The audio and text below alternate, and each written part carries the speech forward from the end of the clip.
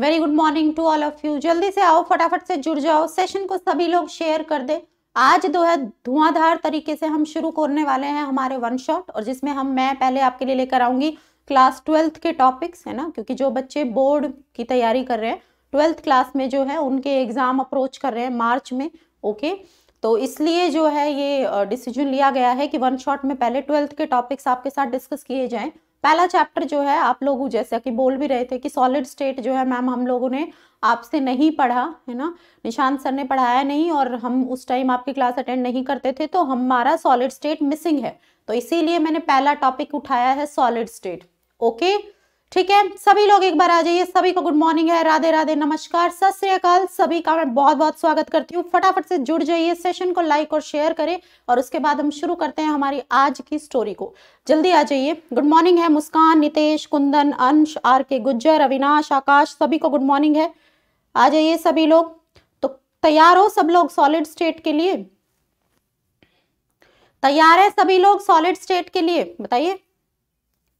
तो आज का जो हमारा टॉपिक रहने वाला है, वो रहने वाला है सॉलिड स्टेट के बारे में हम लोग पढ़ने वाले हैं, ठीक है? सॉलिड स्टेट केमिस्ट्री को हम पढ़ेंगे।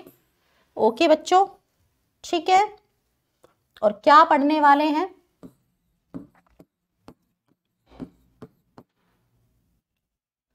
उस बारे में थोड़ा सा जानते हैं। पहले थोड़ी सी बात करते हैं सॉलिड्स के बारे में। क्या होते हैं सॉलिड्स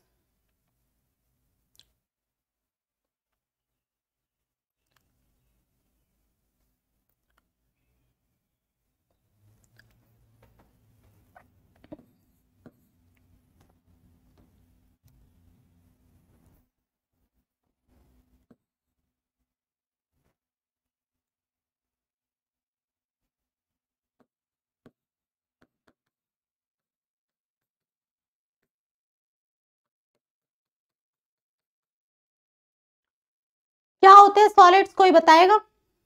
जल्दी बताइए। फटाफट से। क्या होते हैं सॉलिड्स अगर मैं कहूँ ठोस ठोस अवस्था के बारे में बात करूँ सॉलिड के बारे में बात करूँ तो क्या होते हैं बेटा? कैसे डिफाइन करते हो सॉलिड्स को? छोटी क्लासेस में भी हम लोग पढ़ते आए हैं सॉलिड्स के बारे में। कैसे होते हैं सॉलिड्स किनको कहा जाता है सॉलिड्स जिनके ऊपर जो है, हम क्या नहीं कर सकते? ज़ोर ज़बरदस्ती नहीं कर सकते, है ना? जो क्या होते हैं? इनकम्प्रेसिबल होते हैं। किनको कहा जाता है? सॉलिड्स जो इनकम्प्रेसिबल होते हैं। जिनको हम दबा नहीं सकते, है ना? कंप्रेस नहीं कर सकते। अगली बात हम कहते हैं, उनका जो है अपना कोई फिक्स्ड मास होता है, कोई शेप होती है ओके इस तरीके से हम बात करते हैं। उनका क्या होता है? फिक्स्ड शेप मास राइट ये हमें देखने को मिलता है सॉलिड्स के केस में।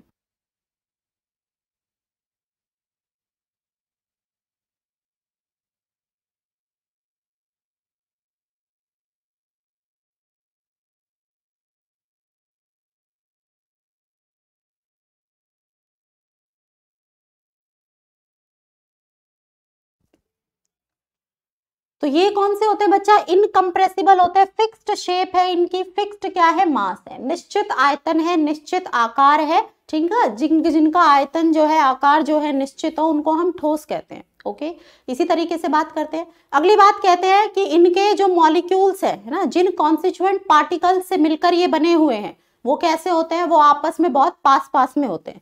जिस पार्टिकल से मिलकर सॉलिड्स बना है, अगर एटम्स की बात करें तो एटम्स क्या होते हैं? बहुत पास पास में होते हैं और उनके बीच में जो फोर्स ऑफ़ अट्रैक्शन है, वो कैसा होगा? स्ट्रॉन्ग होगा।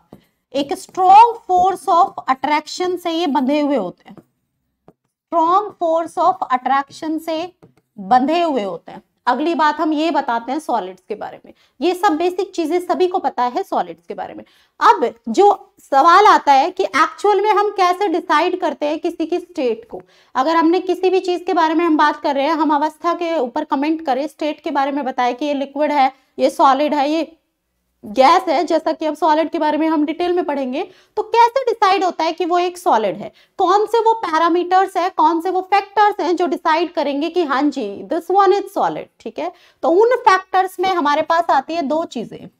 दो चीज़ें हैं जिनका क्यूमुलेटिव इफ़ेक्ट जिनका कंबाइंड इफ़ेक्ट हमें बताता है कि स्टेट जो है सब्सटेंस की, वो क्या होगी ओके और वो क्या है, वो क्यूमुलेटिव इफ़ेक्ट कंबाइंड इफ़ेक्ट एक तो होता है इंटरमोलिक्यूलर फोर्सेस इंटरमोलिक्यूलर फोर्सेस अंतर आणविक आकर्षण बल, जो लगता है किसके बीच में? परमाणुओं के बीच में एटम्स के बीच में। और अगला होता है बच्चा थर्मल एनर्जी है ना? उष्मा।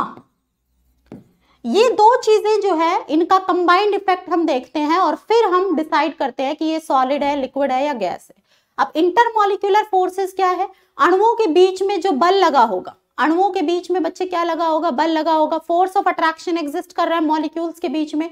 तो जितना ज़्यादा फोर्स ऑफ़ अट्रैक्शन होगा, इसका मतलब उतना ज़्यादा एक दूसरे से खिंचे हुए होंगे। इसका मतलब वहाँ पर उतना ज़्यादा मजबूती से वो लोग बंधे हुए होंगे। तो इसका मतलब जो हमारा इंटरमोलिकुलर फोर्स है, वो क्या करता है? वो एटम्स को पास पास में लाने की कोशिश करता है।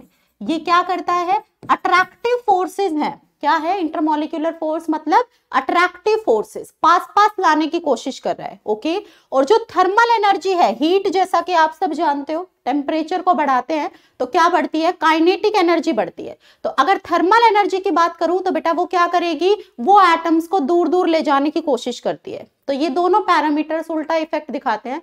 पहले वाला जो है, वो क्या करता है? एटम्स को पास पास लाने की कोशिश और जो दूसरे वाला है, वो एटम्स को दूर दूर ले जाने की कोशिश। इसी तरीके से स्टोरी चलती है। बताइए जरा, इसी तरीके से स्टोरी चलती है तो इन दोनों का कंबाइंड इफ़ेक्ट हमें देखना होता है कि इंटरमोलिकुलर फोर्स और थर्मल एनर्जी दोनों का कंबाइंड इफ़ेक्ट देखने के बाद वो पर्टिकुलर सब्सटेंस किस स्टेट में हमें मिलता है? वो सॉलिड में मिलता है, वो लिक्विड में मिलता है, वो गैस में मिलता है या वो कैसे मिलता है? आज की जो हमारी स्टोरी है, जो हमारा पहला चैप्टर है बारहवीं क्लास का, वो है हमारा ठोस अवस्था। तो इन ठोस के बारे में अब थोड़ा सा डिटेल में हम लोग पढ़ेंगे।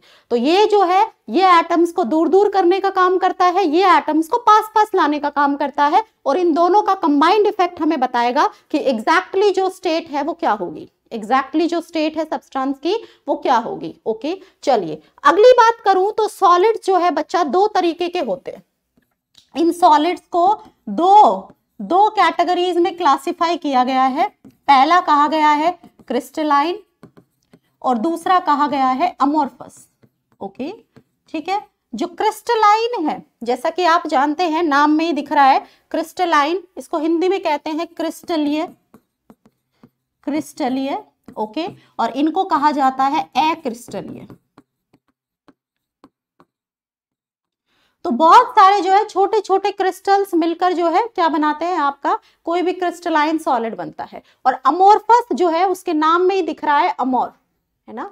अमोर्फ वर्ड उसके नाम में ही दिख रहा है, जिसका मतलब है नो शेप जिसका मतलब है नो शेप ओके इसका मतलब होता है A M O R P H amorphous जो कि उसके नाम में है इसका मतलब होता है जिनकी कोई शेप नहीं होती। जिनका, इसका मतलब होता है no form no shape irregular shape हमें नज़र आने वाली है स्ट्रक्चर में, किसके केस में? क्रिस्टलिए के केस में। और एक रेगुलर ज्योमेट्री हमें नज़र आने वाली है कि एटम्स की जो पैकिंग होगी, वो कैसे होगी? एक रेगुलर फ़ैशन में होगी, एक पर्टिकुलर क्या होगा? अरेंजमेंट होगा, ठीक है? पूरे क्रिस्टल के अंदर किसके केस में? क्रिस्टलाइन के केस में। और अमोर्फस के केस में क्या होगा?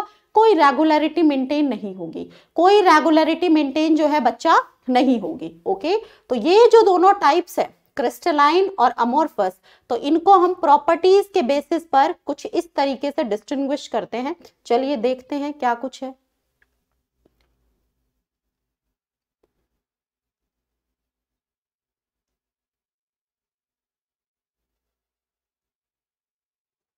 ये देखो बेटा तो क्रिस्टलाइन सॉलिड्स और अमोर्फस सॉलिड्स के बीच में अगर मैं डिस्टिंग्विश करूँ, अगर मैं इनको बीच में अगर बताऊँ कि क्या डिफरेंस है इनके बीच में तो क्रिस्टलाइन सॉलिड्स की अगर शेप के बारे में बात करूँ तो डेफिनेट जो है ज्योमेट्रिकल शेप नज़र आती है इनकी। इनकी क्या नज़र आती है? डेफिनेट शेप नज़र आती है। इनके केस में आपको कैसा स्ट्रक्चर देखने को मिलता है? एक रेगुलर पैटर्न एक रेगुलर अरेंजमेंट जो है वो नज़र आता है ओके एटम्स जो है एटम्स का जो अरेंजमेंट है, वो एक ऐसे रेगुलर फ़ैशन में होगा कि एक छोटे से एरिया में अगर आप देख लो किस तरीके से एटम्स अरेंज है तो पूरे क्रिस्टल का आपको स्टडी करने की ज़रूरत नहीं है। वही सेम पैटर्न जो है, पूरे क्रिस्टल में फॉलो होगा ओके लेकिन इनके केस में ऐसा नहीं होता। इनके केस में इरेगुलर शेप होती है। कैसी होती है? इरेगुलर शेप होती है। छोटे से एरिया में, अगर छोटे से एरिया में आप देख ले एटम्स का अरेंजमेंट तो पूरे क्रिस्टल का आप कमेंट नहीं कर सकते कि आगे क्या अरेंजमेंट होने वाला है। इरेगुलर अरेंजमेंट होता है। कोई पैटर्न वहाँ पर एटम्स का फॉलो नहीं होता। अरेंजमेंट के अकॉर्डिंग ठीक है क्रिस्टल के अंदर। ओके नेक्स्ट अगर बच्चा मैं बात करूँ किसके बारे में गलनांक के बारे में मेल्टिंग पॉइंट के बारे में तो डेफिनेट जो है इनके केस में डेफिनेट ज्योमेट्रिकल शेप होती है तो इनका जो मेल्टिंग पॉइंट है, वो कैसा होता है? शार्प होता है। एक पर्टिकुलर टेम्परेचर पर मेल्ट करेंगे। अगर क्रिस्टलाइन सॉलिड है तो अगर मैंने बोल दिया किसी का मेल्टिंग पॉइंट 60 डिग्री सेल्सियस है तो जैसे ही 60 डिग्री सेल्सियस टेम्परेचर आएगा, वो पूरा पिघल जाएगा। वो पूरा पिघल जाएगा। लेकिन इनके केस में क्या होगा बच्चा? अमोर्फस के केस में ये जो है, एक पर्टिकुलर टेम्परेचर पर मेल्ट नहीं करेंगे, ठीक है? रेंज ऑफ़ टेम्परेचर के अंदर पिघलना जो है, शुरू कर देंगे। क्या करेंगे? जैसे ही मान लो किसी का जो है रेंज जो है साठ से सत्तर है तो जैसे ही साठ डिग्री आया, पिघलना शुरू कर दिया। एक ही टेम्परेचर पर आकर पूरा पिघलेगा नहीं, पहले सॉफ्ट होना स्टार्ट करेगा, उसके बाद पिघलना शुरू करेगा। इसको आप सोच सकते हो कैसे? इसके केस में जो है, हमारे पास आते हैं प्लास्टिक रबर ये जो है हमारे अमोरफस सॉलिड्स की कैटेगरी में आते हैं ओके और इनके केस में हमारे पास आता है क्वार्ज ठीक है? जैसे कि सॉलिड NaCl की बात कर लो ओके तो ये जो है हमारे पास क्या है? क्रिस्टलाइन है। तो अगर आप बात करोगे किसके बारे में? प्लास्टिक और रबर के बारे में तो प्लास्टिक को कभी, है ना, जलाकर देखना तो प्लास्टिक क्या करता है? है ना, तैना हम उसको बोलते हैं कि तय जाता है ना, क्या करता है? मेल्ट करना स्टार्ट करता है। पहले प्लास्टिक अगर हीट के कॉन्टैक्ट में लेकर जाओगे तो सॉफ्ट होना स्टार्ट होगा। पहले सॉफ्ट होना स्टार्ट होगा, उसके बाद क्या होगा? है ना, पिंगल पिंगल कर नीचे गिरने लगेगा, टूटना शुरू हो जाएगा उसका। तो ये डिफरेंस होता है इन दोनों के बीच में। अगली बात अगर मैं करूँ, ठीक है, अगर चाकू से काटने लग जाओ, अगर बच्चा क्या करने लग जाए आप? चाकू से काटने लग जाए तो क्या देखने को मिलता है?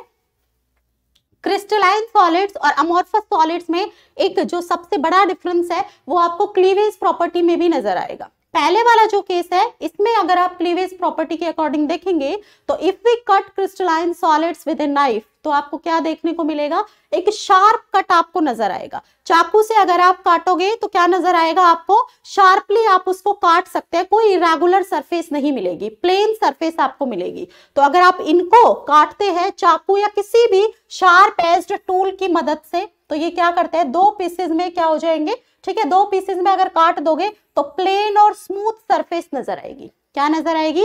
प्लेन और स्मूथ सरफेस नज़र आएगी। अमोर्फस सॉलिड के केस में अगर बच्चा आप इनको चाकू की मदद से काटे तो ये कैसा? कैसे कटेगा? इरेगुलर सरफेस नज़र आएगी। कटने के बाद जो आपने जहाँ से काटा, वहाँ पर आपको क्या नज़र आएगा? इरेगुलर सरफेसेस नज़र आएगी। जैसे अगर आपने पहले वाले केस में काटोगे तो ऐसे, बिल्कुल प्लेन सरफेस कटने के बाद में। लेकिन अगर दूसरे वाले केस में काटो, प्लास्टिक को काट कर देखना कभी, क्या बिल्कुल ऐसे एकदम से कटेगा? नहीं कटेगा, ठीक है? नहीं कटेगा। तो क्रिस्टलाइन और अमोर्फस में ये भी एक पहचान है कि जो क्रिस्टलाइन है, उसके केस में प्लेन सरफेस आपको मिलेगी कटिंग के बाद में, लेकिन अमोर्फस के केस में प्लास्टिक को काट कर देखो, ऐसे बिल्कुल सीधा ऐसे नहीं काट सकते हो, ठीक है? बिल्कुल सीधा आप उसको ऐसे नहीं काट पाएँगे इरेगुलर सरफेस आपको मिलेगी कटिंग के बाद में, जो भी आपको मिला, ठीक है? जो भी आपका दो पार्ट्स में आप डिवाइड करोगे तो बीच में से जहाँ से आपने काटा, वहाँ पर आपको बिल्कुल प्लेन नज़र नहीं आएगा इरेगुलर ऐसे। ऐसे, ऐसा ऐसा सरफेस आपको नज़र आएगा, ऐसे बिल्कुल प्लेन नज़र नहीं आएगी surface okay heat of fusion की बात करूँ, ठीक है? तो जहाँ पर हम सब जानते हैं कि जहाँ पर क्या है डेफिनेट शेप है कि डेफिनेट ज्योमेट्रिक पैटर्न है तो वहाँ पर आपको क्या देखने को मिलेगा? डेफिनेट इंथैल्पी ऑफ़ फ्यूजन नज़र आएगी। उनकी क्या नज़र आएगी? डेफिनेट इंथैल्पी ऑफ़ फ्यूजन अब इंथैल्पी ऑफ़ फ्यूजन क्या होता है? हम सब जानते हैं सॉलिड को किसमें कन्वर्ट करना है? लिक्विड में ओके तो डेफिनेट अमाउंट हाँ ग्लास भी जो है उसका एग्ज़ाम्पल है, ठीक है?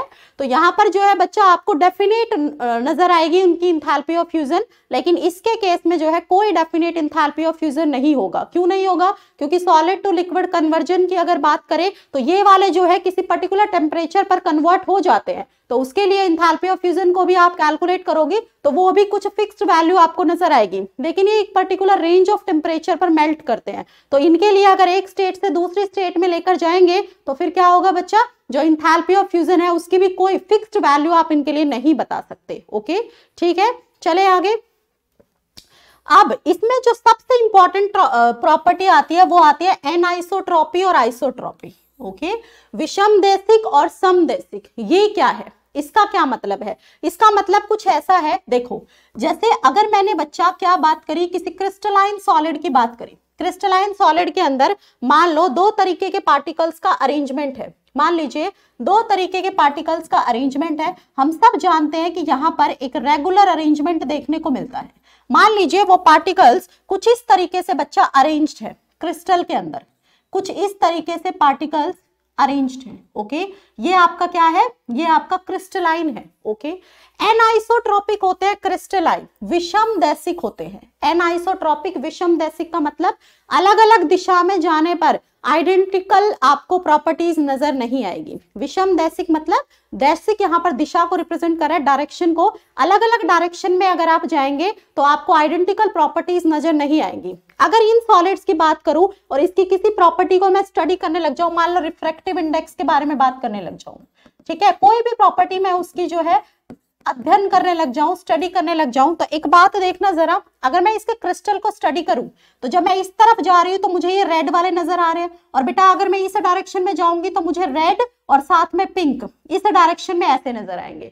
तो ऐसा अरेंजमेंट होने की वजह से, एक रेगुलर अरेंजमेंट होने की वजह से जब आप अलग अलग डायरेक्शन में जाएँगे तो अलग अलग टाइप के पार्टिकल्स आपको नज़र आएँगे। डिफरेंट डिफरेंट टाइप के पार्टिकल्स के नज़र आने की वजह से जो प्रॉपर्टी आप जो भी स्टडी कर रहे हैं, वो भी क्या होगी? अलग अलग डायरेक्शन में जाने पर अलग अलग वैल्यू आपको दिखाएगी। इसी को ही एन आइसोट्रॉपिक कहते हैं। इसी को ही क्या कहते हैं बच्चा? इसी को ही एनाइसोट्रॉपी कहते हैं ओके और इनके केस में क्या होगा? अमोर्फस के केस में? इसका अगर कोई क्रिस्टल स्टडी करोगे तो कोई रेगुलरिटी आपको देखने को नहीं मिलेगी।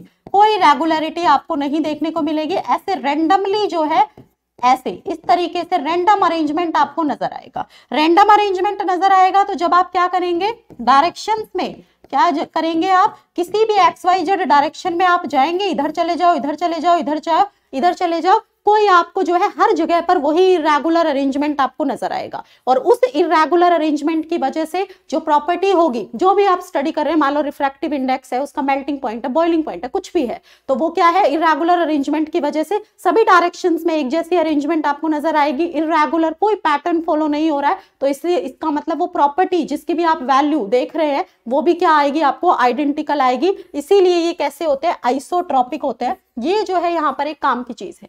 इनको ट्रू सॉलिड्स कहा जाता है। वास्तविक में सॉलिड्स की सारी प्रॉपर्टी को दिखाते हैं। लेकिन जो ये वाले हैं बच्चा अमोर्फस वाले, इनको शूडो सॉलिड्स झूठे सॉलिड्स और सुपरकूल्ड लिक्विड्स भी कहा जाता है।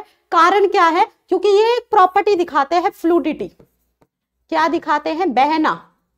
फ्लूडिटी ओके तो ये क्या कर सकते हैं? ये बह सकते हैं। क्या कर सकते हैं बच्चा ये? ये बह सकते हैं ओके बहने की टेंडेंसी होती है। ऐसा नहीं कि पानी और तेल की तरीके से बहते हैं। इनका जो बहाव है वो बहुत धीरे होता है, ठीक है? आपको अपनी एनसीआरटी में एक लाइन लिखी हुई मिल जाएगी कि जो ग्लास पेन्स है बहुत पुरानी बिल्डिंग्स में। आप देखोगे कि जो शीशा है बहुत साल पहले कोई बिल्डिंग बनी सौ, साल पहले कोई बनी इमारत उसके अगर आप ग्लास पेन को खिड़की में लगे शीशे को देखोगे तो आपको नज़र आएगा कि वो शीशा जो है नीचे से मोटा है और ऊपर से पतला है।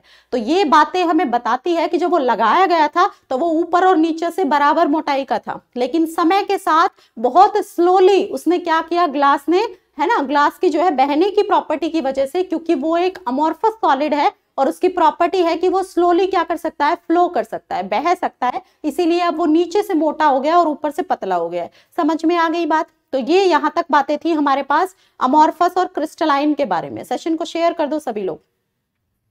सभी लोग सेशन को शेयर करो। तो एन आइसोट्रॉपी और आइसोट्रॉपी का क्या मतलब? एन आइसोट्रॉपी का मतलब एक रेगुलर अरेंजमेंट है। अलग अलग डायरेक्शन में जाओगे अलग अलग टाइप के मॉलिक्यूल्स नज़र आएँगे। तो इसीलिए मेल्टिंग पॉइंट बॉइलिंग पॉइंट कोई भी प्रॉपर्टी स्टडी करोगे अलग अलग वैल्यूज़ उसकी अलग अलग डायरेक्शन में आएँगी। इसको एन आइसोट्रॉपी कहते हैं ओके और इनके केस में कोई रेगुलर अरेंजमेंट नहीं है। अलग अलग डायरेक्शन में जाओगे क्या नज़र आएगा आपको?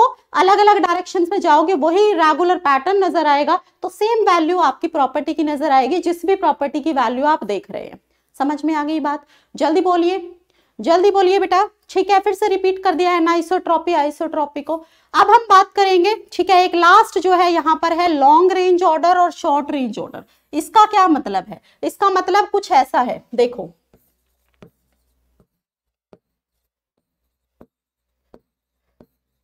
तरीके से एक रेगुलर पैटर्न नज़र आता है इनके स्ट्रक्चर्स में ओके देखो, अब आपने इतना एरिया आपने स्टडी किया तो आपको पता चला कि बीच वाला इस तरीके से कनेक्टेड है बाकी से। यहाँ पर देखो आप, इसको स्टडी करो, वही सेम पैटर्न तो आगे का पैटर्न आप क्या कर सकते हैं? एज्यूम कर सकते हैं। आगे का पैटर्न आप बच्चे एज्यूम कर सकते हैं कि क्रिस्टलाइन के केस में ये पर्टिकुलर पैटर्न होगा और इसी पैटर्न से पूरा क्रिस्टल आपको मिलेगा ओके इसको लॉन्ग रेंज ऑर्डर कहते हैं। इसको क्या कहते हैं? इसको लॉन्ग रेंज ऑर्डर कहते हैं। इसको क्या कहते हैं? इसको दीर्घ परासी व्यवस्था कहते हैं कि इस तरीके से एक पैटर्न आपको फॉलो होता हुआ होता हुआ नज़र आएगा। इनके केस में शॉर्ट रेंज ऑर्डर इसलिए क्योंकि कोई पैटर्न फॉलो नहीं होगा। मान लो शुरुआत ऐसे हुई, पता चला आगे जाकर इस तरीके से अरेंजमेंट हो गया। ठीक है? पता चला आगे जाकर इस तरीके का अरेंजमेंट देखने को मिला। कोई लॉन्ग रेंज ऑर्डर यहाँ पर पैटर्न में आपको देखने को नहीं मिलेगा।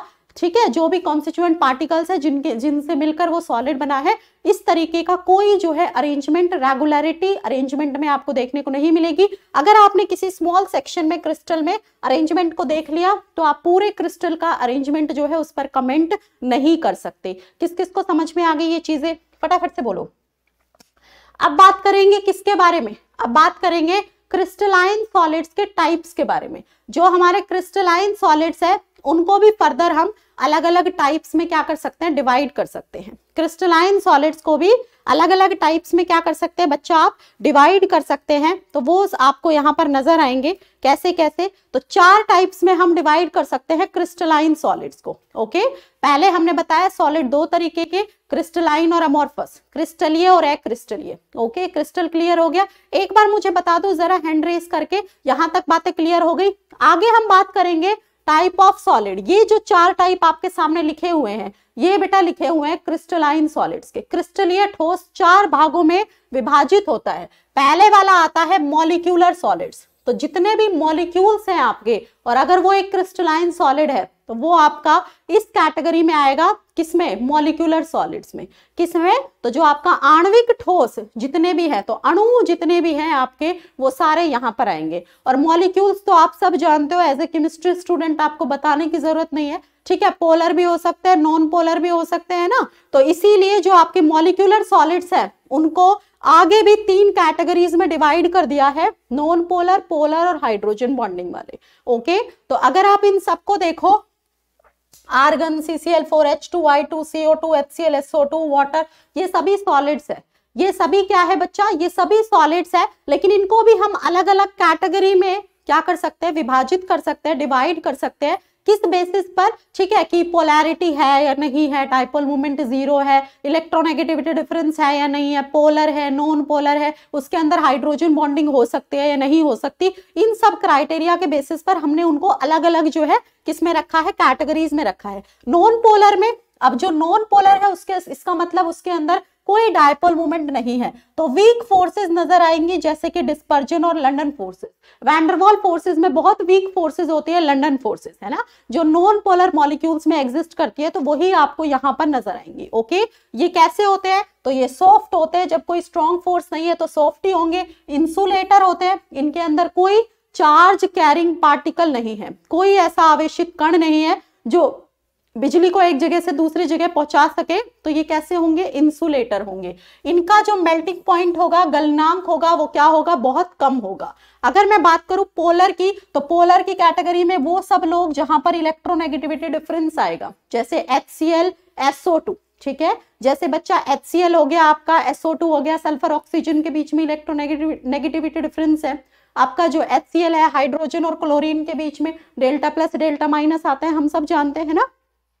तो यहाँ पर डाइपोल डाइपोल इंटरेक्शन है ना? जहाँ पर प्लस और माइनस है ना? इलेक्ट्रॉन क्लाउड अपने आप को क्या कर सकता है? एक तरफ़ शिफ्ट कर सकता है। इलेक्ट्रॉन डेंसिटी एक तरफ़ ज़्यादा शिफ्ट होती है। प्लस माइनस चार्जेस जहाँ पर आ रहे हैं ओके तो वहाँ पर क्या जनरेट होता है? डाइपोल वो अपने बगल वाले में भी क्या क्या शुरू कर देता है? ठीक है? अपोजिट चार्जेस के बीच में इंटरक्शन शुरू हो जाता है। क्लियर हो गया? तो इनका भी जो नेचर है, ये सॉफ्ट होते हैं। इनके अंदर भी कोई चार्ज कैरिंग पार्टिकल नहीं है। तो इंसुलेटर है और मेल्टिंग पॉइंट भी लो होगा। मेल्टिंग पॉइंट हाई कब होगा? जहाँ पर बहुत स्ट्रॉन्ग फोर्स ऑफ़ अट्रैक्शन देखने को मिलेगा, जहाँ पर ज्योमेट्री में बहुत क्लोज पैकिंग होगी। उनको मेल्ट करने के लिए ज़्यादा एनर्जी चाहिए होगी। ओके ठीक है? चले आगे। हाइड्रोजन बॉन्डिंग तो ये तो मुझे बताने की ज़रूरत नहीं। फ़ोन वाली कैटेगरी जहाँ पर भी हाइड्रोजन, फ्लोरीन, ऑक्सीजन और नाइट्रोजन के साथ जुड़ा है, वो हमारे आ जाएँगे किसके अंदर? हाइड्रोजन बॉन्डेड मॉलिक्यूलर सॉलिड्स के अंदर। ओके? तो इसके केस में आपका जाएगा पानी एचएफ ठीक है? ये सब जा सकता है इस केस में। अमोनिया, इनका नेचर हार्ड। अब हार्ड देखो आ गया क्योंकि हम सब जानते हैं वैंडरवॉल फोर्सेस में सबसे स्ट्रॉन्ग फोर्स वैंडरवॉल में किसको माना गया है? हाइड्रोजन बॉन्डिंग को। तो इसीलिए उनका नेचर भी आपको सॉफ्ट से हार्ड होता हुआ नज़र आ गया। रिलेट कर सकते हो प्रॉपर्टीज़ को। इंसुलेटर होंगे क्योंकि यहाँ पर भी कोई चार्ज कैरिंग पार्टिकल नहीं है और लो होगा इनका भी मेल्टिंग पॉइंट अगला टाइप आता है आइनिक सॉलिड्स का। अगला टाइप आता है बच्चा किसका? आयनिक सॉलिड्स का। आयनिक सॉलिड्स में तो आयंस नज़र आएँगे। आयंस के आते ही? आपके दिमाग की बत्ती जल गई होगी। इसका मतलब ये क्या कर सकते हैं? इनका मेल्टिंग पॉइंट हाई क्योंकि strong force of attraction ions तो बहुत मज़बूत बल से एक दूसरे को क्या करते हैं? अट्रैक्ट करते हैं। ये कैसे होंगे? हार्ड होंगे, ठीक है? तो सॉलिड स्टेट में तो ये इंसुलेटर्स होंगे, लेकिन अगर इनमें पानी मिला दिया जाए या फिर इनको लिक्विड स्टेट में ले लिया जाए तो फिर क्या होंगे? आयंस जो है घूम फिर सकते हैं। सॉलिड में तो आयंस जो है फिक्स रहेंगे अपनी जगह पर। एक जगह पर बैठ गए, ठीक है? वो फिक्स पोजीशन है। सॉलिड में तो क्रिस्टल में जब रहेंगे तो फिक्स्ड पोजीशन रहेगी हिलडुल नहीं सकते ओके और इनके केस में क्या होगा? जब मोल्टन स्टेट में होंगे, ठीक है? जब तरल अवस्था में होंगे या फिर एक्वा सॉल्यूशन आपने उसका बना दिया, या फिर आपने उसको किसमें डाल दिया? पानी में डाल दिया। उस केस में क्या होगा बच्चा? उस केस में जो है आयंस जो है फ्लो कर सकते हैं और fluidity of ions charge particle के घूमने फिरने की वजह से ही वो किसके तरीके से बिहेव कर सकते हैं? ठीक है? इलेक्ट्रिकल कंडक्टिविटी उनमें नज़र आ सकती है। ओके नेक्स्ट हमारे पास अब आयनिक में तो मुझे बताने की ज़रूरत नहीं। NaCl, MgO जो आयंस में टूट सकते हैं। ये Na plus C L minus ये C A two plus F minus M G two plus O two minus Z N two plus S two minus okay next हमारे पास आते हैं मेटालिक सॉलिड्स तो इसमें हमारे सारे आ जाएँगे मेटल इसमें हमारे पास सारे आएँगे मेटल जैसे आपका आयरन है ना? तो मेटल मेटालिक सॉलिड्स में क्या होता है? मेटल होता है और मेटल कैसा होता है? इलेक्ट्रोपॉजिटिव होता है, जैसे सोडियम है तो बहुत हाई टेंडेंसी है इलेक्ट्रॉन को लूज करने की। तो वो क्या करता है? एन प्लस की फॉर्म में रहेगा इलेक्ट्रॉन्स उसके चारों तरफ़ रहेंगे, है ना? तो एन प्लस रहेगा इलेक्ट्रॉन रहेगा। तो जितने भी मेटालिक सॉलिड्स है, उनके केस में क्या होगा? पॉजिटिव आयंस की फॉर्म में वो एग्जिस्ट करेगा और उसके चारों तरफ़ जो इलेक्ट्रॉन उसने लूज किए हैं, ठीक है, वो उसके चारों तरफ़ घूमते रहेंगे। तो इलेक्ट्रॉन्स के मूवमेंट की वजह से ये क्या कर सकते हैं? कंडक्टर के तरीके से बिहेव कर सकते हैं, है ना? तो फ्री मूविंग इलेक्ट्रॉन है और इलेक्ट्रॉन एक चार्ज पार्टिकल है। हम सब जानते हैं चार्ज पार्टिकल का घूमना फिरना किसके लिए रिस्पॉन्सिबल होता है? कंडक्टिविटी के लिए ओके चालकता के लिए। तो जितने भी मेटल्स हैं वो इस कैटेगरी में जाएँगे। नेक्स्ट इनका जो मेल्टिंग पॉइंट है वो काफ़ी हाई होगा ओके ठीक है? क्योंकि यहाँ पर भी स्ट्रॉन्ग फोर्स और जो लास्ट कैटेगरी आती है कोवलेंट और नेटवर्क सॉलिड इसके केस में हमें विशाल मॉलिक्यूल्स मिलते हैं जाइंट मॉलिक्यूल्स ओके? ठीक है? तो यहाँ पर एटम से मिलकर बने होंगे कोवलेंट बॉन्डिंग देखने को मिलेगी। जैसे कि आपका क्वार्ज है सिलिकॉन डाइऑक्साइड एस है कार्बन है एल्यूमिनियम नाइट्राइड है डायमंड है, ये सभी। ओके? ठीक है? तो यहाँ पर आपको बच्चा नज़र आएगा। फ़िज़िकल नेचर ये हार्ड होते हैं इंसुलेटर्स होते हैं, ठीक है? और इनका मेल्टिंग पॉइंट होता है बहुत हाई इनका मेल्टिंग पॉइंट क्या होगा? बहुत हाई होगा। इसमें एक एक्सेप्शन आपको नज़र आएगी ग्रेफाइट एक एक्सेप्शन आपको यहाँ पर नज़र आएगी कोवेलेंट में ग्रेफाइट ग्रेफाइट आपका सॉफ्ट भी होगा और कंडक्टर भी होगा। और उसका कारण क्या होता है? तो ग्रेफाइट का स्ट्रक्चर जो कि मैंने आपको पी ब्लॉक में पढ़ाया है कि ग्रेफाइट में लेयर्ड स्ट्रक्चर की वजह से ग्रेफाइट में लेयर्ड स्ट्रक्चर की वजह से, लो बेटा, हिंदी वाले है ना? ग्रेफाइट में लेयर्ड स्ट्रक्चर की वजह से वो कैसा नज़र आता है? ठीक है? एक जो चौथा इलेक्ट्रॉन है, वो लेयर्स के बीच में होता है। और जो क्या कर सकता है वहाँ पर? ठीक है? घूम फिर सकता है। तो उस घूमने फिरने की वजह से ग्रेफाइट कंडक्टर्स होते हैं। उसके स्ट्रक्चर की वजह से लुब्रिकेंट का काम करते हैं, क्योंकि लेयर्स स्लिप कर सकती है। ये सब मैंने आपको पी ब्लॉक में बताया था। ये सब मैंने आपको पी ब्लॉक में बताया था। ये देख लो, ठीक है, आणविक ठोस, आयनिक, धात्विक और सह संयोजक ओके? आणविक को आप अध्रुवी ध्रुवीय और हाइड्रोजन आबंधित, ओके? और ये सब इनकी प्रॉपर्टीज़ ये सब इनकी जो है प्रॉपर्टीज़ ओके? क्लियर हो गया यहाँ तक? जल्दी बताइए फटाफट से। यहाँ तक चीज़ें क्लियर हो गई? जल्दी बोलिए। बोला बेटा शेयर कर दो सेशन को एक बार। शेयर कर दो सेशन को एक बार और यहाँ तक मुझे बताइए, चीज़ें क्लियर हो गई? थ्योरिटिकल चीज़ें थी, यहाँ तक समझ में आ गई। बता दो फटाफट से। उसके बाद फिर चलते हैं हमारे क्रिस्टल लेटिस और यूनिट सेल की तरफ़। बता दो जल्दी। क्रिस्टल जालक और यूनिट सेल की तरफ़ चलते हैं फिर। हाँ पेंसिल में होते है। जल्दी बताइए। बेटा क्वालिटी सही कर लो थोड़ी सी अपनी वीडियो की प्रज्ञा।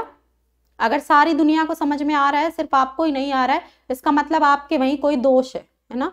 कोई दिक्कत चल रही है, इसका मतलब आपकी साइड ही यहाँ तक बेटा क्लियर हो गया, बिल्कुल एनसीआरटी के पैटर्न में लेते हुए ही चलूँगी, जिससे कि आपको थोड़ा कॉन्फिडेंस रहे कि हाँ एनसीआरटी के पैरल हम पढ़ रहे हैं। ओके ठीक है वन शॉट में जो है एनसीआरटी के पैटर्न को फॉलो करते हुए ही जो है, आपको वन शॉट लेकर आऊँगी।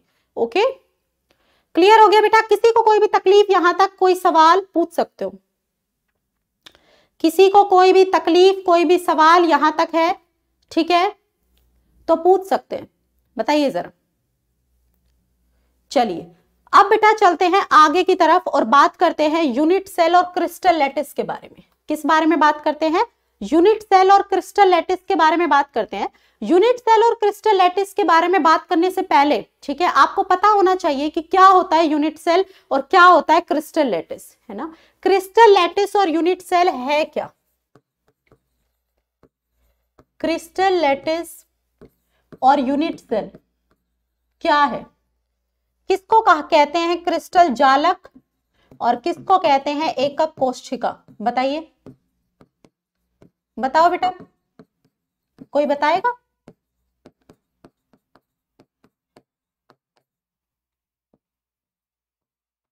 बताएगा कोई?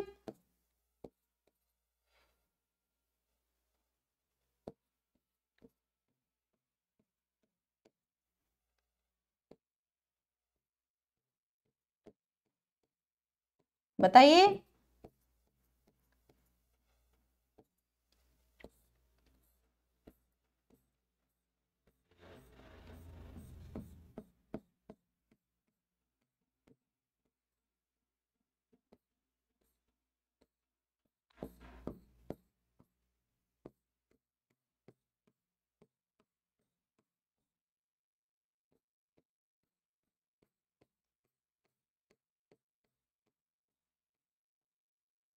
ये देखो। ये आपके ऐसे ही हाँ स्मॉलेस्ट पार्टिकल नहीं स्मॉलेस्ट पार्टिकल नहीं। चलिए, इधर देखो। ये आपको एक दीवार जैसी नज़र आ रही है। यहाँ पर मैंने क्या किया? कुछ पॉइंट्स लिए। और इन पॉइंट्स को मैंने स्पेस में इस तरीके से ओरिएंट किया, बच्चा। और जब इन पॉइंट्स को मैंने स्पेस में ओरिएंट किया, और थ्री डायमेंशन में, त्रिविमा में, अगर चारों तरफ़ इन पॉइंट्स को मैं लगा दूँ, और जोड़ती जाऊँ तो एक पैटर्न नज़र आ जाता है। एक पैटर्न नज़र आ जाता है बच्चा मुझे यहाँ पर। एक दीवार सी बनती हुई नज़र आ रही है। एक दीवार बनती हुई नज़र आ रही है बच्चा, ठीक है? आप घर में रहते हो, कोई बहुत बड़ी बिल्डिंग है, कैसे बनी होगी? एक ईट है जिसको थ्री डायमेंशन में चारों तरफ़ हमने रिपीट किया है। किसी पैटर्न में उस ईट को जचाया गया है और तब जाकर आपके पास पूरी दीवार और पूरी इमारत जो है तैयार हो गई है। ओके? तो ईट जो है वहाँ पर किसका काम कर रही है? यूनिट सेल का काम कर रही है। ईट किसका काम कर रही है? यूनिट सेल का काम कर रही है और वो जो दीवार और इमारत आपकी है, वो आपका क्रिस्टल लेटिस है। वो आपका क्या है बच्चा? क्रिस्टल लेटिस है। तो थ्री के अंदर अगर पॉइंट्स का रिपीटेटिव अरेंजमेंट में करूँ तो वही आपका क्रिस्टल लेटिस है। देखो, ये सारे पॉइंट्स थे इनको जोड़ते जाओ जोड़ते जाओ, एक बहुत बड़ा पैटर्न आपके पास आ जाएगा। तो ईट को अगर सारी दिशाओं में एक थ्री है ना, थ्री डायमेंशन में अगर ईट को घुमाया फिराया जाए, लेफ़्ट, राइट, ऊपर, नीचे तो आपके दीवार और मकान तैयार हो जाते हैं। तो ईट आपका यूनिट सेल का काम करता है और आपका मकान एक क्रिस्टल लेटिस का काम करता है। किस किस को ये बात क्लियर हो गई? एग्जैक्टली है क्या? एग्जैक्टली exactly है क्या? और यहाँ पर हर एक पॉइंट एक लेटेस्ट पॉइंट को डिनोट करता है। हर एक पॉइंट को हम बोलते हैं जालक का बिंदु। क्या कहते हैं? लेटेस्ट पॉइंट जालक बिंदु। और ये जालक बिंदु पर आपका कोई एटम भी हो सकता है, कोई मॉलिक्यूल भी हो सकता है। इस जालक बिंदु पर आप कोई एटम भी रख सकते हैं, कोई मॉलिक्यूल भी रख सकते हैं। क्रिस्टल लेटिस के अंदर जो आपका लेटेस्ट पॉइंट है, जालक बिंदु है, वहाँ पर एटम को भी रखा जा सकता है मॉलिक्यूल आयन किसी को भी रखा जा सकता है। क्लियर हो गई बातें? जल्दी बोलो बेटा, समझ में आ गया? ठीक है? तो क्या है आपका यूनिट सेल किसको कहते हैं? तो थ्री डायमेंशन के अंदर रिपीटेटिव अरेंजमेंट्स जो है, ठीक है, वही आपका। एक regular three dimensional arrangement points का स्पेस में, वो तो आपका क्रिस्टल जालक है। Regular three D arrangement of points in space arrangement of points in space, जैसे मैंने आपको ये दिखाया अभी ऊपर, है ना? दीवार जैसा पॉइंट्स को रिपीट करके बनाकर दिखाया, ये आपका क्या बन गया एक? ये आपका एक क्रिस्टल जालक बन गया। ये क्या बन गया? ये आपका एक क्रिस्टल जालक बन गया। और किसको कहा जाता है? Unit cell. यूनिट सेल किसको कहते हैं बेटा? बताओ जरा। किसको कहेंगे यूनिट सेल? तो यूनिट सेल आपका इस क्रिस्टल लेटिस का वो सबसे छोटा हिस्सा है, वो स्मॉलेस्ट यूनिट है है ना? क्या है यूनिट सेल? तो यूनिट यूनिट सेल क्या है? Smallest portion of crystal lattice which when repeated in three D gives whole lattice है ना? कि वो सबसे छोटा हिस्सा, वो पैटर्न जिसको आप बार बार रिपीट करें सारे डायरेक्शंस में तो पूरा क्रिस्टल लेटिस आपको मिल जाए, वो छोटा सा, वो सबसे स्मॉलेस्ट यूनिट आपकी क्या होगी? यूनिट सेल होगी। वो सबसे स्मॉलेस्ट यूनिट क्या होगी बच्चा? यूनिट सेल होगी। ओके क्लियर हो गया? तो क्या होगा यूनिट सेल तो यूनिट सेल किसको कहेंगे? यूनिट सेल कहेंगे। वो सबसे smallest portion of crystal lattice which when repeated over and again smallest portion of smallest portion of crystal lattice which when repeated in 3D gives the whole lattice जिससे आपका पूरा crystal जालक मिल जाए, ठीक है? एका कोष्ठिका क्या है? तो वो सबसे छोटी यूनिट है, जिसको त्रिविमा में चारों तरफ़ आप रिपीट करें तो क्या मिल जाए आपको? पूरा क्रिस्टल जालक मिल जाए। क्लियर हो गया? बोलो बेटा। क्लियर हो गई बात यहाँ तक? बताइए। बताइए जरा।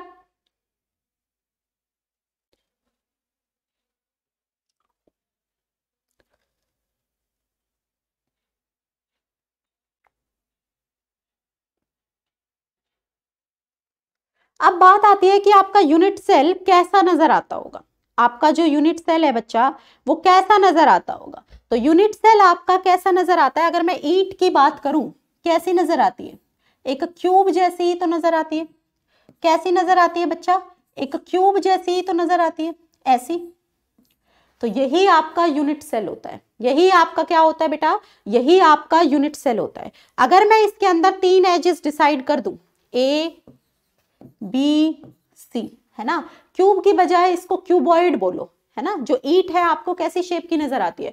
क्यूबॉइड जैसी नज़र आती है। तो यहाँ पर मैं क्या डिफाइन कर सकती हूँ? तीन तो जो है, मैं इसकी क्या डिफाइन कर सकती हूँ? Edge length A B C और इनके बीच में क्या बता सकती हूँ? एंगल्स ओके तो एक यूनिट सेल को डिफाइन करने के लिए हमें छह पैरामीटर्स चाहिए होते हैं। एक यूनिट सेल को डिफाइन करने के लिए बेटा, कितने पैरामीटर्स चाहिए? एक एकक कोष्ठिका के बारे में बताने के लिए सिक्स पैरामीटर्स रिक्वायर्ड है। ए बी सी जो कि उसकी एज लेंथ होगी। है ना? एक्स एक्सिस की तरफ़ वाई एक्सिस की तरफ़ और जेड एक्सिस की तरफ़। और क्या होंगे? तीन एंगल्स होंगे अल्फ़ा बीटा गामा जो किसके बीच में होंगे? इनके बीच में। ए बी के बीच में एक एंगल होगा, एक बी सी के बीच में होगा, है ना? एक ए सी के बीच में होगा। इस तरीके से तीन एंगल्स आपको नज़र आएँगे। Alpha, beta, gamma. ठीक है? ठीक है? तो अल्फ़ा, बीटा, गामा। ओके? तो इस तरीके से बच्चे ये छह पैरामीटर्स आपको किसी भी यूनिट सेल के बारे में कंप्लीट इंफॉर्मेशन देंगे। किसी भी यूनिट सेल के बारे में ये छह पैरामीटर्स आपको कंप्लीट इंफॉर्मेशन देंगे। अब सवाल आता है कि ये यूनिट सेल कितने तरीके के होते हैं? ये जो यूनिट सेल है आपके, ये कितने टाइप्स के होते हैं? तो आपके यूनिट सेल बेटा दो टाइप्स के होते हैं। एक होता है प्रिमिटिव यूनिट सेल्स और एक होता है सेंटर्ड यूनिट सेल्स एक होते हैं प्रिमिटिव और दूसरे होते हैं सेंटर्ड क्या मतलब इसका? तो प्रिमिटिव का मतलब होता है पुराना। प्रिमिटिव वर्ड का मतलब होता है पुराना। ओके ठीक है? और यहाँ पर प्रिमिटिव और सेंटर्ड का क्या मतलब है? तो इसके अंदर पुराने वाला। पुराने वाला कौन सा? जिसमें हम सिर्फ़ ये मानते थे कि एटम्स या फिर जो भी आपका कॉन्स्टिट्यूएंट पार्टिकल है, वो सिर्फ़ कॉर्नर पर प्रेजेंट होगा। कहाँ पर प्रेजेंट होगा? सिर्फ़ कॉर्नर्स पर प्रेजेंट होगा। तो प्रिमिटिव यूनिट सेल वो होते हैं जिनमें कॉन्स्टिट्यूएंट पार्टिकल जिनमें बच्चा कॉन्स्टिट्यूएंट पार्टिकल कहाँ प्रेजेंट होगा? कॉर्नर पर प्रेजेंट होगा। ओनली प्रेजेंट एट कॉर्नर और कॉर्नर के अलावा अगर कहीं और भी कॉन्स्टिट्यूएंट पार्टिकल प्रेजेंट है तो इसका मतलब वो आपका सेंटर्ड यूनिट सेल है। इसका मतलब वो आपकी केंद्रित एकक कोशिका है। वो आपकी क्या है? केंद्रित एकक कोष्ठिका है। बताइए जरा यहाँ तक समझ में आ गई चीज़ें।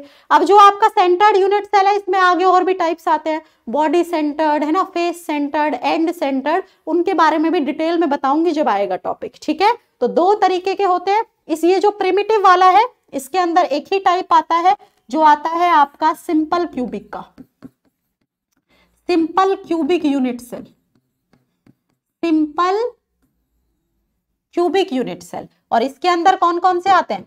इसके अंदर आता है BCC body centred cubic unit cell ठीक है? नेक्स्ट आता है बच्चा इसके अंदर FCC face centred cubic unit cell बाकी आता है इसके अंदर एंड सेंटर्ड यूनिट सेल इस तरीके से और भी टाइप्स इसके अंदर बनते हैं। Face centred body centred end centred edge centred है ना? ये सब जो है आपके किसके केस में आते हैं? सेंटर्ड वाले के केस में आते हैं। जहाँ सिर्फ़ कोने पर होगा, वो आपका प्रिमिटिव वाला केस है। उसमें हमारे पास एक ही तरीके का यूनिट सेल आता है और वो हमारे पास आता है simple cubic unit cell okay clear हो गई यहाँ तक चीज़ें? फटाफट से बताइए बच्चों। यहाँ तक चीज़ें क्लियर हो गई? जल्दी बताइए। अब जो आपके प्रिमिटिव यूनिट सेल्स है बेटा, इसके लिए एक टेबल आपको एनसीआरटी e में मिल जाएगी। ओके जिसमें सात तरीके के आपको ये दिखाए गए हैं। ओके प्रिमिटिव यूनिट सेल्स आपको सात तरीके के दिखाए गए हैं। किसके बेसिस पर? जो मैंने आपको छह पैरामीटर्स बताए। अल्फ़ा बीटा गामा उन्हीं के बेसिस पर। अल्फ़ा बीटा गामा के बेसिस पर ही ये आपको सात तरीके के नज़र आ जाएँगे। ठीक है? इधर आ जाओ। ये आपको कितने तरीके के नज़र आ जाएँगे? सात तरीके के आपको प्रिमिटिव यूनिट सेल्स नज़र आ जाएँगे। ये आपके प्रिमिटिव यूनिट सेल्स है। और कितने तरीके के हैं? सात तरीके के। ठीक है? और ये सात तरीके कैसे डिफाइन किए गए? तो उनके पैरामीटर्स जो कि उनके कौन से? एक्सियल जो एंगल्स उनके थे एक्सियल एंगल्स और बोन्ड लेंथ के बेसिस पर, है ना? तो ये जो आपके ए बी सी है ना? एज लेंथ जो आप देख रहे हैं और एक्सियल एंगल्स जो मैंने आपको बताए थे, तीन एंगल्स होंगे अल्फ़ा बीटा गामा उनके बेसिस पर जो हमारा प्रिमिटिव यूनिट सेल है, उसको हमने सेवन टाइप्स में डिवाइड किया है। और इसमें से एमसीक्यू में से एमसीक्यू में सवाल आपसे पक्का पक्का पूछा जाता है। इसमें एमसीक्यू में सवाल आपसे पक्का पक्का पूछा जाता है। आपको अपनी एनसीईआरटी में ये टेबल कुछ इस तरीके से, इस पैटर्न में नज़र आएगी, ओके?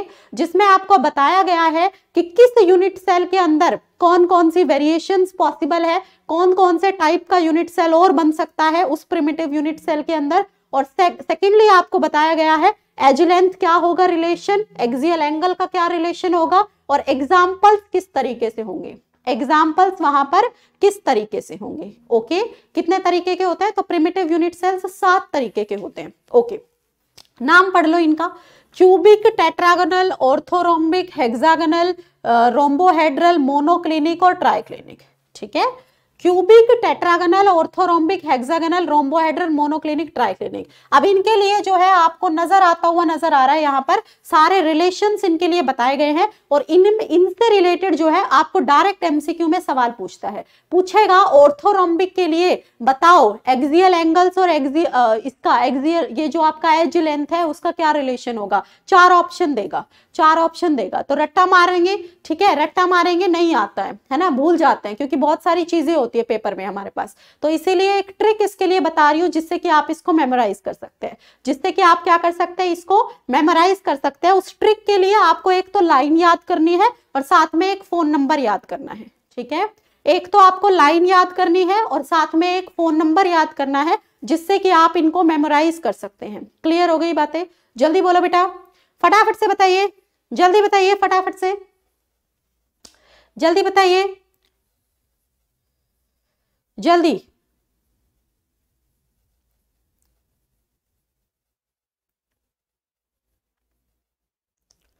क्लियर हो गया?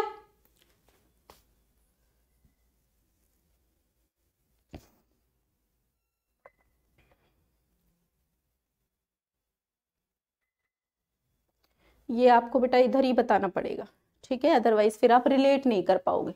देखो, इधर आ जाओ, ठीक है? हाँ एक ट्रिक बताई थी, उसको आज दोबारा बता रही हूँ। लिख लो बेटा लाइन सीटी और मारी तो हेक्सागनल शेप के एक क्लिनिक में जाना पड़ेगा, नहीं तो तीन तीन क्लिनिक में जाना पड़ेगा। सीटी और मारी तो हेक्सागनल शेप के एक क्लिनिक में जाना पड़ेगा, ठीक है? सीटी और मारोगे तो हेक्सागनल शेप के एक क्लिनिक में जाना पड़ेगा, नहीं मानोगे तो तीन तीन क्लिनिक में जाना पड़ेगा। इस लाइन को लिख लीजिए अपनी नोटबुक में। इस लाइन को अपनी नोटबुक में लिख लीजिए, सीटी और मारोगे तो हेक्सागनल शेप के एक क्लिनिक में जाना पड़ेगा। अगर नहीं मानोगे तो तीन तीन क्लिनिक में जाना पड़ेगा। बताओ जरा। लिख लो बेटा इस लाइन को, जल्दी। इस लाइन को लिख लीजिए फटाफट से। लिख लो बेटा इस लाइन को। जल्दी ये लाइन लिखो, फिर बताती हूँ कैसे रिलेट करना है।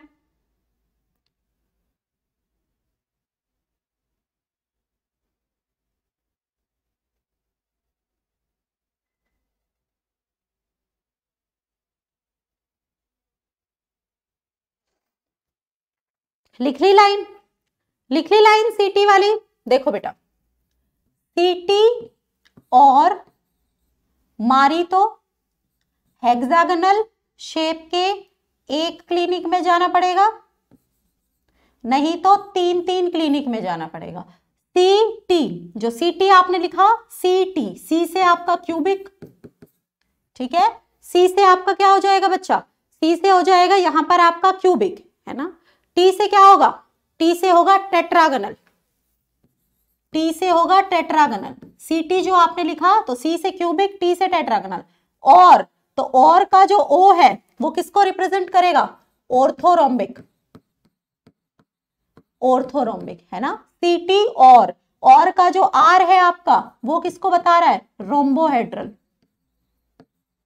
ठीक है? सीटी और मारितो. मारितो का कोई मतलब नहीं है. हेक्सागनल शेप तो हेक्सागनल आपका एक यूनिट सेल होता है डायरेक्ट लिख दो हेक्सागनल शेप के एक क्लिनिक एक को इंग्लिश में क्या बोलते हैं? मोनो एक को इंग्लिश में क्या बोलते हैं बच्चा? मोनो। ठीक है? तो यहाँ पर लिखो मोनो क्लिनिक सीटी और मारोगे तो हेक्सागनल शेप के एक क्लिनिक में जाना पड़ेगा। एक क्लिनिक यहाँ पर मोनो है। जो लाइन आपने लिखी थी, अब वहाँ पर जिस चीज़ का जो जो मतलब है, उसको अंडरलाइन कर लो दूसरे पेन से। सी का मतलब है क्यूबिक टी का मतलब है टेट्रागनल ओ का मतलब है ऑर्थोरोम्बिक ठीक है? और जो आपने लिखा तो आर का मतलब है रोम्बोहेड्रल ओके और मारोगे तो ठीक है, मारोगे तो को एज इट इज़ रहने दो। हेक्सागनल हेक्सागनल को अंडरलाइन करके लिखो। हेक्सागनल आपका क्यूबिक यूनिट सेल है। हेक्सागनल शेप शेप को छोड़ दो। हेक्सागनल शेप के एक क्लिनिक एक क्लिनिक को अंडरलाइन करके लिखो। मोनो क्लिनिक है ना?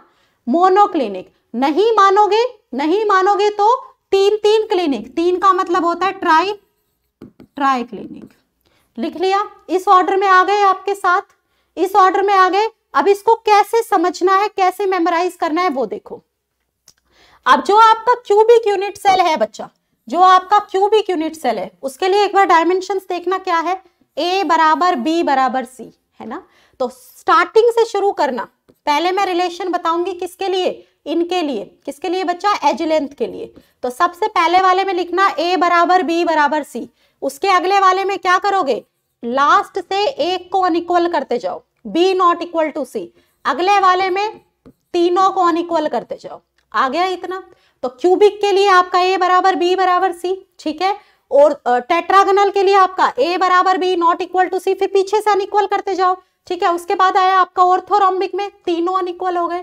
फिर चलो रोम्बोहेड्रल की तरफ़। जो ये पैटर्न था, उसको फिर से लिखो। ए बराबर बी बराबर सी ठीक है? ऐसा लिखा। पहले सारे बराबर, फिर पीछे से एक अनइक्वल फिर दोनों अनइक्वल फिर से लिखो रोम्बोहेड्रल के लिए ए बराबर बी बराबर सी ठीक है? समझ में आ गया? उसके बाद चलो कहाँ पर? फिर से वही पैटर्न ए बराबर B not equal to C जैसे वहाँ किया था। उसके बाद चलो थर्ड के पास A not equal to B not equal to C और ये जो है ट्राई क्लिनिक इसके लिए याद भी रख सकते हो, इसके लिए सब नॉट इक्वल ही होता है। इसके लिए सब नॉट इक्वल ही होता है तो ये जो लिखा इसको एक बार फिर से लिख दो। हो गया सबका पूरा?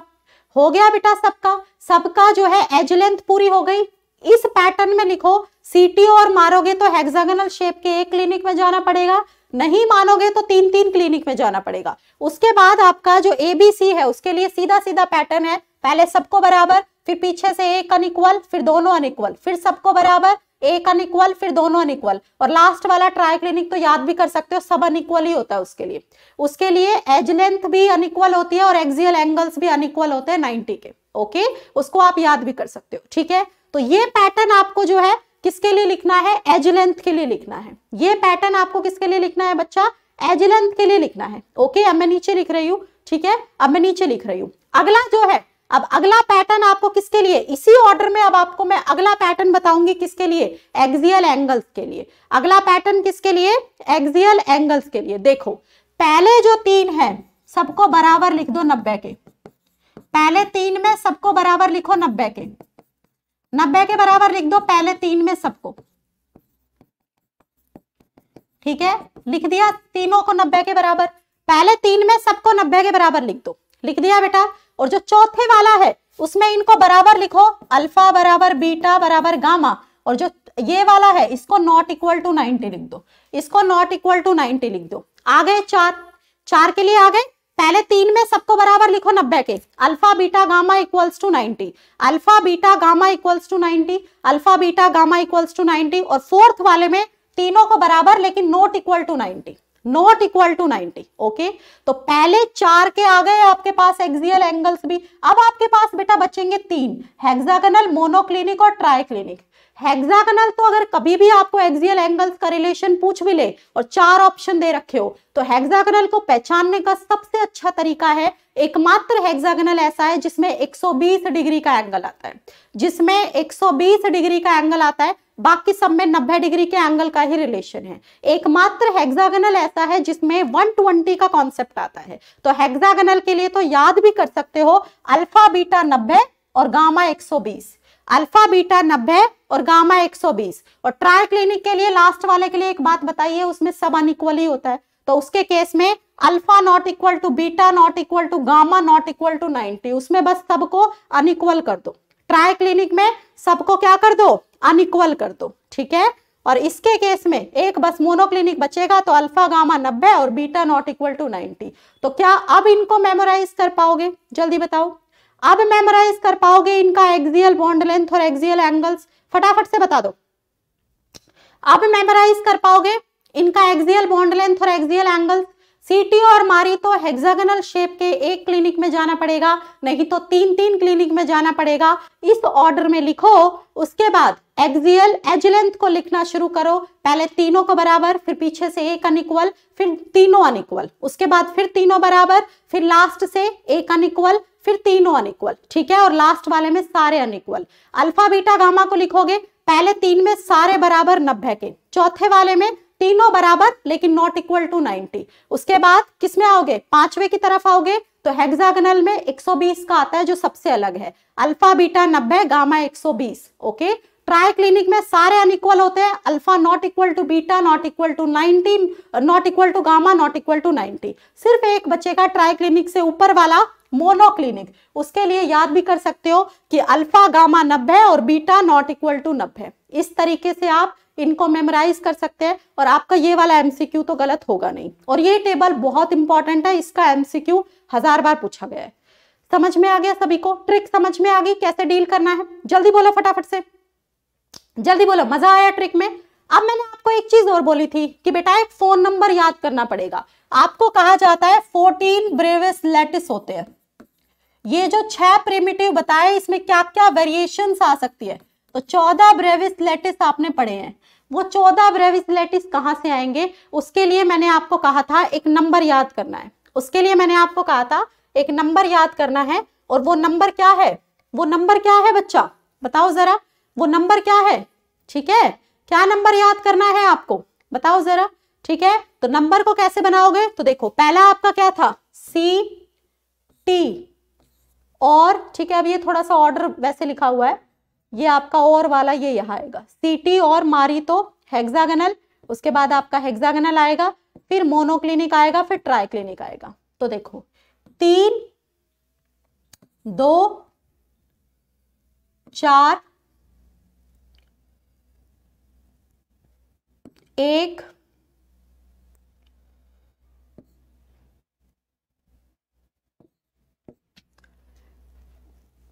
तीन सौ चौबीस, ग्यारह इक्कीस। हाँ वेरी गुड याद है सारे बच्चों को। 324 11 21 ये नंबर याद कर लो। 324 11 21 ठीक है? इनको हमेशा इस ऑर्डर में लिखना। सिंपल क्यूबिक जो वेरिएशन है, उनको हमेशा इस ऑर्डर में लिखना बेटा। ठीक है? जो आपका वेरिएशन है। सबसे पहले प्रिमिटिव वाला सिंपल क्यूबिक उसके बाद लिखना बीसीसी उसके बाद लिखना एफसीसी और उसके बाद लिखना एंड सेंटर्ड इस ऑर्डर में लिखना।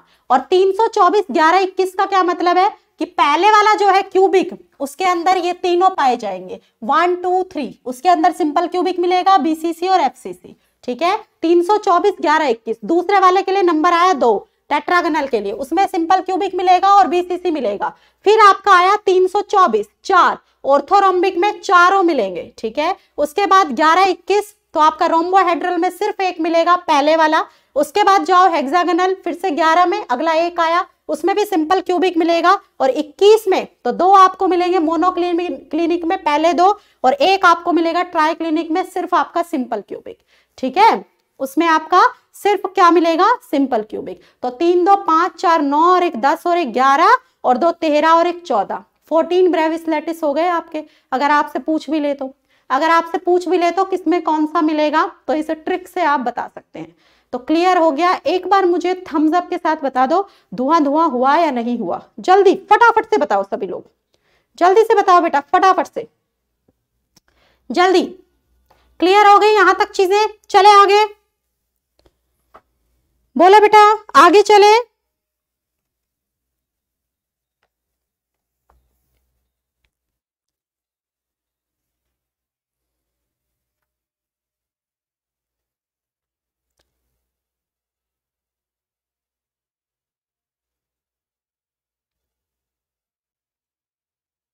ये देखो, आपको दिखा भी रखे हैं। क्यूबिक के अंदर ये तीनों, टेट्रागनल में ये दो, ठीक है? फिर आपका ऑर्थोरोम्बिक में ये चारों मिलते हैं, हेक्सागनल में एक, मोनोक्लिनिक में ये दो, ठीक है? ट्रायगनल में एक ट्राइक्लिनिक में ये एक, ओके? इस तरीके से जो है आपको ये, ठीक है? दिखाया भी है कि किसमें आपका कौन कौन सी वेरिएशन देखने को मिलती है। ओके बच्चा, अब हम चलेंगे number of atoms per unit cell में, ठीक है? जो कि आपको कैलकुलेशन के लिए आता है। कई बार फॉर्मूला से भी रिलेट करके क्वेश्चन पूछता है, उससे रिलेटेड तो इन सब के लिए मैं आपको कैलकुलेट करना सिखाऊँगी। इन सब के लिए मैं आपको कैलकुलेट करना सिखाऊँगी। चलो देख लो कैसे कैसे होगा। ये देखो, ठीक है? एक सेकेंड रुको। इधर आ जाओ। इधर आ जाइए। ठीक है? इधर आ जाइए बेटा। Number of atoms per unit cell उसको rank of the unit cell भी बोलते हैं, जिसको हम जेड से रिप्रेजेंट करते हैं। तो सिंपल क्यूबिक में फेस सेंटर्ड में बॉडी सेंटर्ड में एंड सेंटर्ड में कैसे निकालते हैं, मैं बताऊँगी अभी आपको। किसका कितना कंट्रीब्यूशन कैसे कैसे हम कैलकुलेट करते हैं, उसके बारे में अभी बात करेंगे ओके कोई बता सकता है मुझे कैसे करते हैं?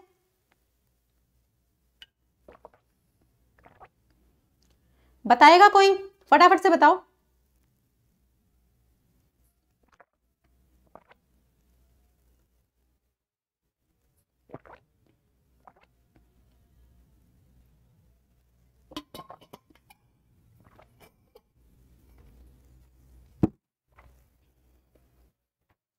चलो बेटा, देखते हैं। ये देखो, सिंपल क्यूबिक कौन से वाला होता है? प्रिमिटिव के अंदर। यहाँ पर एटम्स कहाँ प्रेजेंट होंगे? सिर्फ़ कॉर्नर्स पर। कहा प्रेजेंट होंगे? सिर्फ़ कॉर्नर्स पर। ओके अब जिस कमरे में आप बैठे हो, उस कमरे को सोचो। इस कमरे से ही सारी कहानी है।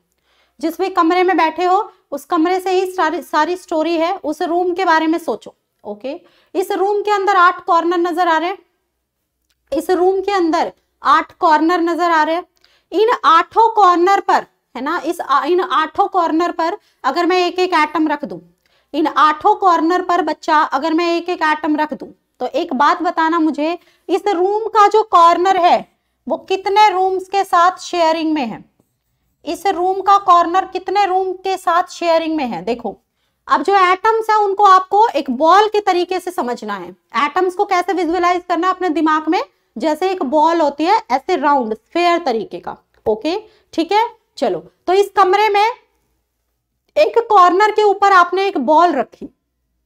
कॉर्नर के ऊपर आपने एक बॉल रखी। आप जिस कमरे में हो, उसके बगल में भी एक कमरा होगा। ठीक है? उसके लेफ़्ट में भी एक कमरा होगा, उसके राइट में भी एक कमरा होगा, उसके आगे भी एक कमरा होगा, उसके पीछे भी एक कमरा होगा। तो इस तरीके से चार कमरे जुड़े हुए होंगे। इस तरीके से चार कमरे मतलब एक फ्लोर पे बात करूँ तो चार कमरे जुड़े हुए हो सकते हैं, एक उसके बगल में हो सकता है, एक पीछे हो सकता है, आगे हो सकता है, एक इस तरफ़ हो सकता है ना? तो चार कमरे कुछ इस तरीके से कनेक्टेड होंगे। अगर बेटा मैं इस कॉर्नर की बात करूँ, अगर मैं इस कॉर्नर की बात करूँ, है ना? इस कमरे का ये कॉर्नर तो चार कमरे तो ये कॉर्नर चार कमरों से तो अपने इसी वाले फ्लोर पे कनेक्टेड है। ग्राउंड फ्लोर पे ग्राउंड फ्लोर या फ़र्स्ट फ्लोर कोई भी देख लो ग्राउंड फ्लोर पे देख लो। तो ये कम, ये कॉर्नर इन चार कमरों से कनेक्टेड है। अगर यहाँ पर मैं एक गोला रख दूँ, एक स्फेयर रख दूँ स्फेयर तो थ्री में होगा। अगर मैं उसको यहाँ पर रख दूँ तो वो स्फेयर चार कमरों में तो इनमें घुसेगा, जो इस कॉर्नर पे रखा है। और चार कमरे ठीक ऐसे ही ऊपर वाली मंजिल पे भी बने होंगे। अगर ये ग्राउंड फ्लोर पर बने हैं तो इसके ठीक ऊपर वाली मंजिल पर भी चार कमरे ऐसे ही बने होंगे। इसके ठीक ऊपर भी चार कमरे ऐसे बने होंगे। तो इस कॉर्नर पे रखा हुआ स्पेयर चार कमरे तो ये वाले और चार इसके ऊपर, उन सारे कमरों में भी तो जा रहा होगा, स्फेयर तो ऐसे होगा ना, इस तरीके से, है ना?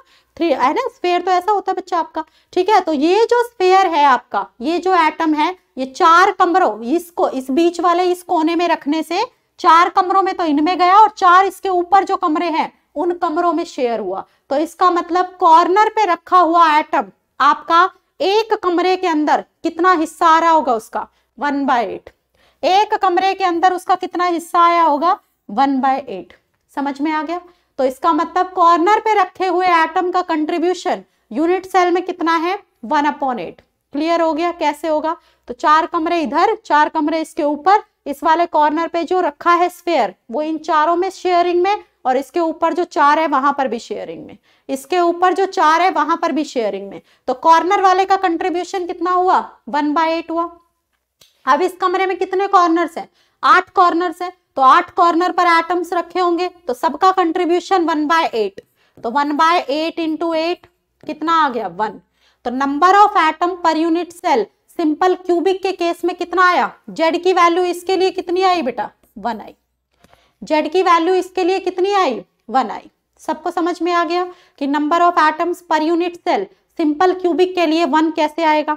सबको क्लियर हो गया? फटाफट से बता दो। जल्दी बोलो बेटा। क्लियर हो गया? जल्दी बोलो फटाफट से। क्लियर हो गया?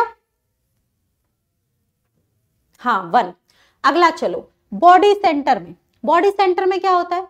बॉडी सेंटर में कॉर्नर्स पर भी एक एक एटम है और एक एटम जो है वो सेंटर में है। एक एटम जो है, वो सेंटर में है। आप जिस कमरे में बैठे हो, ठीक है, उस कमरे के ठीक बीच में आपका बेड डला हुआ है, ऐसा मान लो, ठीक है, आपका जो बेड है, वो कमरे के ठीक बीच में डला हुआ है। वहाँ पर लाकर मैं एक स्पेयर रख दू। वहाँ पर उस बेड के ऊपर लाकर ठीक आपके साथ में जहाँ बैठे हो, एक स्पेयर में रख दू ओके और बाकी सारे जो कमरे हैं, उसके सारे कोनों पर एक एक रखा है स्पेयर तो जो कोने वाले हैं, आठ कोने पर रखा और कोने का कंट्रीब्यूशन वन बाय एट तो वहाँ से तो कितना आ गया? इसके लिए वहाँ से तो कितना आ गया बच्चा? Eight into one by eight आ गया। और जो बीच में, ये जो बीच में रख दिया है, जो बीच में, कमरे के ठीक बीच में सेंटर में, है ना? सेंटर में, कमरे के ठीक बीच में सेंटर में एक जो है बेड आपने लटका दिया, उसके ऊपर आपने जो है रखा एक स्फेयर है ना? या फिर मत भी लटकाओ बेड को स्फेयर को आप पकड़ कर खड़े हो जाओ कमरे के ठीक बीच में। कमरे के ठीक बीच में तो बच्चा वो स्फेयर किसी के साथ शेयरिंग में नहीं है। जिसको आपने कमरे के ठीक बीच में आप पकड़कर खड़े हो, जिस एटम को, जिस स्फेयर को, वो किसी के साथ कोई शेयरिंग में नहीं है, वो पूरे तरीके से इसी कमरे में है। वो पूरे तरीके से इसी कमरे में है ओके तो वहाँ से जो ये बीच वाला जो है, ये कहीं शेयरिंग में नहीं है तो ये डा, पूरा का पूरा कंट्रीब्यूट कर रहा है इसी यूनिट सेल में। तो यहाँ पर number of atoms per unit cell कितना हो जाएगा? तो एक तो आएगा कहाँ से? कॉर्नर की वजह से एक आएगा बॉडी सेंटर की वजह से तो दो। कितना हो जाएगा? दो हो जाएगा। ओके नेक्स्ट मैं बात करती हूँ फेस सेंटर की। फेस सेंटर में कहाँ होते हैं? फेस सेंटर में जो है फेस जो भी आपके फेस है, कमरे के जितने भी फेसेस है, उन सब के बीच में एक एक एटम होगा। कमरे के फेसेस के बीच में एक एक एटम होगा प्लस कहाँ पर होगा? कॉर्नर पे। तो कॉर्नर का तो अब आपको पता चल ही गया। Eight into one by eight है ना? और जो आपके फेस है जो आपके फेस है बच्चा, ठीक है? फेस जितने भी है, अब फेस कितने हैं? कमरे में कितने फेस है? अब मैं ऐसे खड़ी हूँ, एक मेरे ठीक सामने दीवार है, एक मेरे ठीक पीछे दीवार है है ना? जहाँ पर बोर्ड लगा है। एक मेरे इस तरफ़ दीवार होगी लेफ़्ट साइड में, एक मेरे राइट साइड में होगी, एक मेरे ऊपर छत होगी और एक नीचे जो है, मैं हवा में तो झूल नहीं रही, नीचे फर्श भी होगा। इस तरीके से जो है छह फेस छह फेस हो गए। कितने हो गए? कितने फेस हो गए बेटा? तो सिक्स फेस हो गए। कितने हुए? तो यहाँ पर जो है इस यूनिट सेल के अंदर सिक्स फेसेस नज़र आए। कितने फेसेस नज़र आए बच्चा? तो सिक्स फेसेस नज़र आए। तो ये जो छह फेस है, अब फेस के बारे में सोचो। अब अगर मैं बात करूँ मेरे बगल वाली दीवार के बारे में, अगर मेरे बगल वाली दीवार के ठीक बीच में मैं लाकर, उस दीवार को मान लो आपने बीच में से तोड़ दिया थोड़ा सा और तोड़कर उस दीवार को बीच में से थोड़ा सा और मैंने एक स्फेयर उसके अंदर घुसा दिया तोड़कर। तो अब जो स्फेयर घुसाया वो कहाँ कहाँ शेयरिंग में है? तो एक तो मेरे कमरे में आ रहा है आधा स्फेयर तो और आधा स्फेयर मेरे बगल वाले कमरे में जा रहा होगा, है ना? अब वो स्पेयर तो और कहीं तो जा नहीं सकता, सिर्फ़ बगल वाले कमरे में और गुस्सा होगा, है ना? तो फेस के बीच में अगर मैं रखती हूँ किसको? एटम को तो वो एक तो इस कमरे में आएगा और एक मेरे बगल वाले कमरे में। आधा आधा स्फेयर जो है दोनों कमरों में जाएगा। आधा आधा स्फेयर जो है बच्चा दोनों कमरों में जाएगा तो फेस के ऊपर जो रखा हुआ फेस के ऊपर जो रखा हुआ, छह फेसेस है और फेस के ऊपर रखा हुआ एटम कितना कंट्रीब्यूट करता है यूनिट सेल में? आधा। वो आधा इधर होगा, आधा बगल वाले कमरे में होगा। तो यहाँ से number of atoms per unit cell कितने आ गए? वन प्लस थ्री चार। कितने आ गए? वन प्लस थ्री है ना? चार आ गए। समझ में आ गया सबको? समझ में आ गया? एक एज सेंटर और होता है। एजेस कौन कौन से होते हैं? तो जितनी भी लाइनें नज़र आ रही है कमरे में। कमरे में जितनी भी लाइनें नज़र आ रही है ना, वो एजेस है। लाइनें कैसे? देखो, ये बीच में नीचे आपके फर्श पे, एक कोना इससे जुड़ा, ये वाला कोना इससे जुड़ा, ये वाला कोना इससे जुड़ा, ये वाला कोना इससे जुड़ा। नीचे जो आपका फर्श है, वो आपस में चार कोने, चार लाइनों से जुड़े तो ये चार लाइनें चार एजेस हो गए। ऐसे ही आपका जो फर, ऊपर छत है, वो भी ऐसे ही चार से जुड़े हैं, चार लाइनों से। ऐसे इधर ये दीवार पर भी चार लाइनें इस तरफ़ भी तो बारह एजेस होते हैं। कितने एजेस होते हैं? बारह एजेस होते हैं। तो एज सेंटर का भी आपसे निकलवा ले तो कमरे में बारह एजेस होते हैं। एनसीआरटी में हालाँकि आपको दिया नहीं है, और एज का जो कंट्रीब्यूशन होता है, वो कितना होता है? वो एक बटे चार होता है, क्योंकि एज वाली लाइन सिर्फ़ एक फ्लोर के चार कमरों को ही टच करती है। सिर्फ़ एक फ्लोर के चार कमरों को ही टच कर सकते हैं एजेस क्लियर हो गई बातें? देखो एज क्या है? एज ये है। एज ये है, इस तरीके से। है ना? तो चार कमरों को ही टच कर सकता है। अगर दो मैं इधर मान लू तो दो इसके ऊपर होंगे। सिर्फ़ चार कमरों को ही शेयरिंग में आएगा वो एज वाला। तो इसलिए अगर वहाँ पर स्पेयर रखोगे बीच में तो चार कमरों की शेयरिंग में जाएगा जो एज के सेंटर पर रखा हुआ स्पेयर है। एज के सेंटर पर जो रखा हुआ स्पेयर है तो बारह एजेस होते हैं, उसकी शेयरिंग वन बाय फोर होती है। ओके तो एक कॉर्नर से आता है तीन यहाँ से, उसके केस में भी number of atoms per unit cell चार ही आते हैं। उसके केस में भी number of atoms per unit cell कितने आते हैं? चार ही आते हैं। क्लियर हो गया सबको ये? जल्दी बोलो बेटा। अब क्लोज पैकिंग के बारे में थोड़ी सी बात कर लेते हैं। कैसे कैसे क्लोज पैकिंग कर सकते हैं? एक डायमेंशन में कैसे कर सकते हैं? दो में कैसे कर सकते हैं? तीन में। ये देखो इस तरीके से। ये देखो इस तरीके से, है ना? लड्डू, हलवाई जो है, लड्डू जचा जचा के देता है आपको, है ना? लड्डू जचा जचा के देता है, बस उन लड्डुओं को ही जचाना है। क्लोज पैकिंग समझ में आ जाएगी। ओके चलो, देखते हैं। ये देखो बेटा, अगर आपसे कह दिया जाए, देखो जब भी आपको ऐसा आ जाए ना one dimension two dimension three dimension जब मैं आपकी स्टेज में थी, मुझे भी समझ में नहीं आता था कि ये एक विमा, दो विमा, तीन विमा है ना one dimension two dimension three dimension ये क्या बला होती, क्या किसको कहते हैं? मेरे को भी क्लियर नहीं होता था। तो इसको हमेशा ना ऐसे सोच लिया करो कि वन डायमेंशन की बात कर रहा है, इसका मतलब उसके अंदर सिर्फ़ एक ही चीज़ होगी लेंथ ठीक है? टू डायमेंशन की बात कर रहा है। इसका मतलब उसके अंदर एक लेंथ होगी और एक और होगी। या तो ब्रेथ ले लो या हाइट ले लो। और अगर थ्री की बात कर रहा है तो उसके अंदर तीन चीज़ें होंगी। लेंथ भी होगी ब्रेथ भी होगी और हाइट भी होगी। ऐसे सोच लिया करो। इस लड्डुओं वाले कॉन्सेप्ट में तो ऐसे सोचकर आपको बहुत ईजी हो जाएगा सोचना, है ना? ठीक है? चलो। तो वन डायमेंशन मतलब एक ही चीज़ होगी लेंथ मतलब एक बस, एक लंबी लंबी कतार में लड्डू रखने हैं। एक लंबी लंबी कतार में लड्डू रखने हैं। ओके तो वन डायमेंशन में लंबी कतार में लड्डू रखोगे तो बीच वाला लड्डू कितने लड्डुओं को टच कर रहा है? ठीक है? अब ये लड्डू कितने लड्डुओं को टच करेगा? कितने पड़ोसी है, जिनके साथ ये जुड़ा है, जिनको ये टच कर रहा है, वो होता है कोऑर्डिनेशन नंबर वो होता है कोऑर्डिनेशन नंबर तो यहाँ से जो सवाल आता है, वो सबसे प्यारा सवाल कोऑर्डिनेशन नंबर का ही आता है। यहाँ से जो सवाल आता है तो सबसे प्यारा सवाल यहाँ से कोऑर्डिनेशन नंबर का ही आता है। अगर क्लोज पैकिंग की बात करूँ, है ना? अगर निविड संकुलित संरचनाओं की बात करूँ और बात करूँ एक विमा में निविड संकुलन क्लोज पैकिंग तो बच्चे कोऑर्डिनेशन नंबर होगा दो। कोऑर्डिनेशन नंबर होगा दो। एक लड्डू दो और लड्डुओं को टच कर रहा होगा। एक लड्डू, दो लड्डुओं को और जो है यहाँ पर टच कर रहा होगा। क्लियर हो गई बात? अरे, ये तो सीधा सीधा है, इसमें तो क्या बेवकूफ़ भी समझ जाएँगे, है ना? लड्डुओं को बस एक लाइन में ही रख सकते हैं, एक डायमेंशन में तो। रख दिए, एक लड्डू दो को टच करेगा। अगला देखो, अगला क्या कर सकते हैं? अब मैंने बात करी, ठीक है? अब किसमें करना है? टू डायमेंशन में।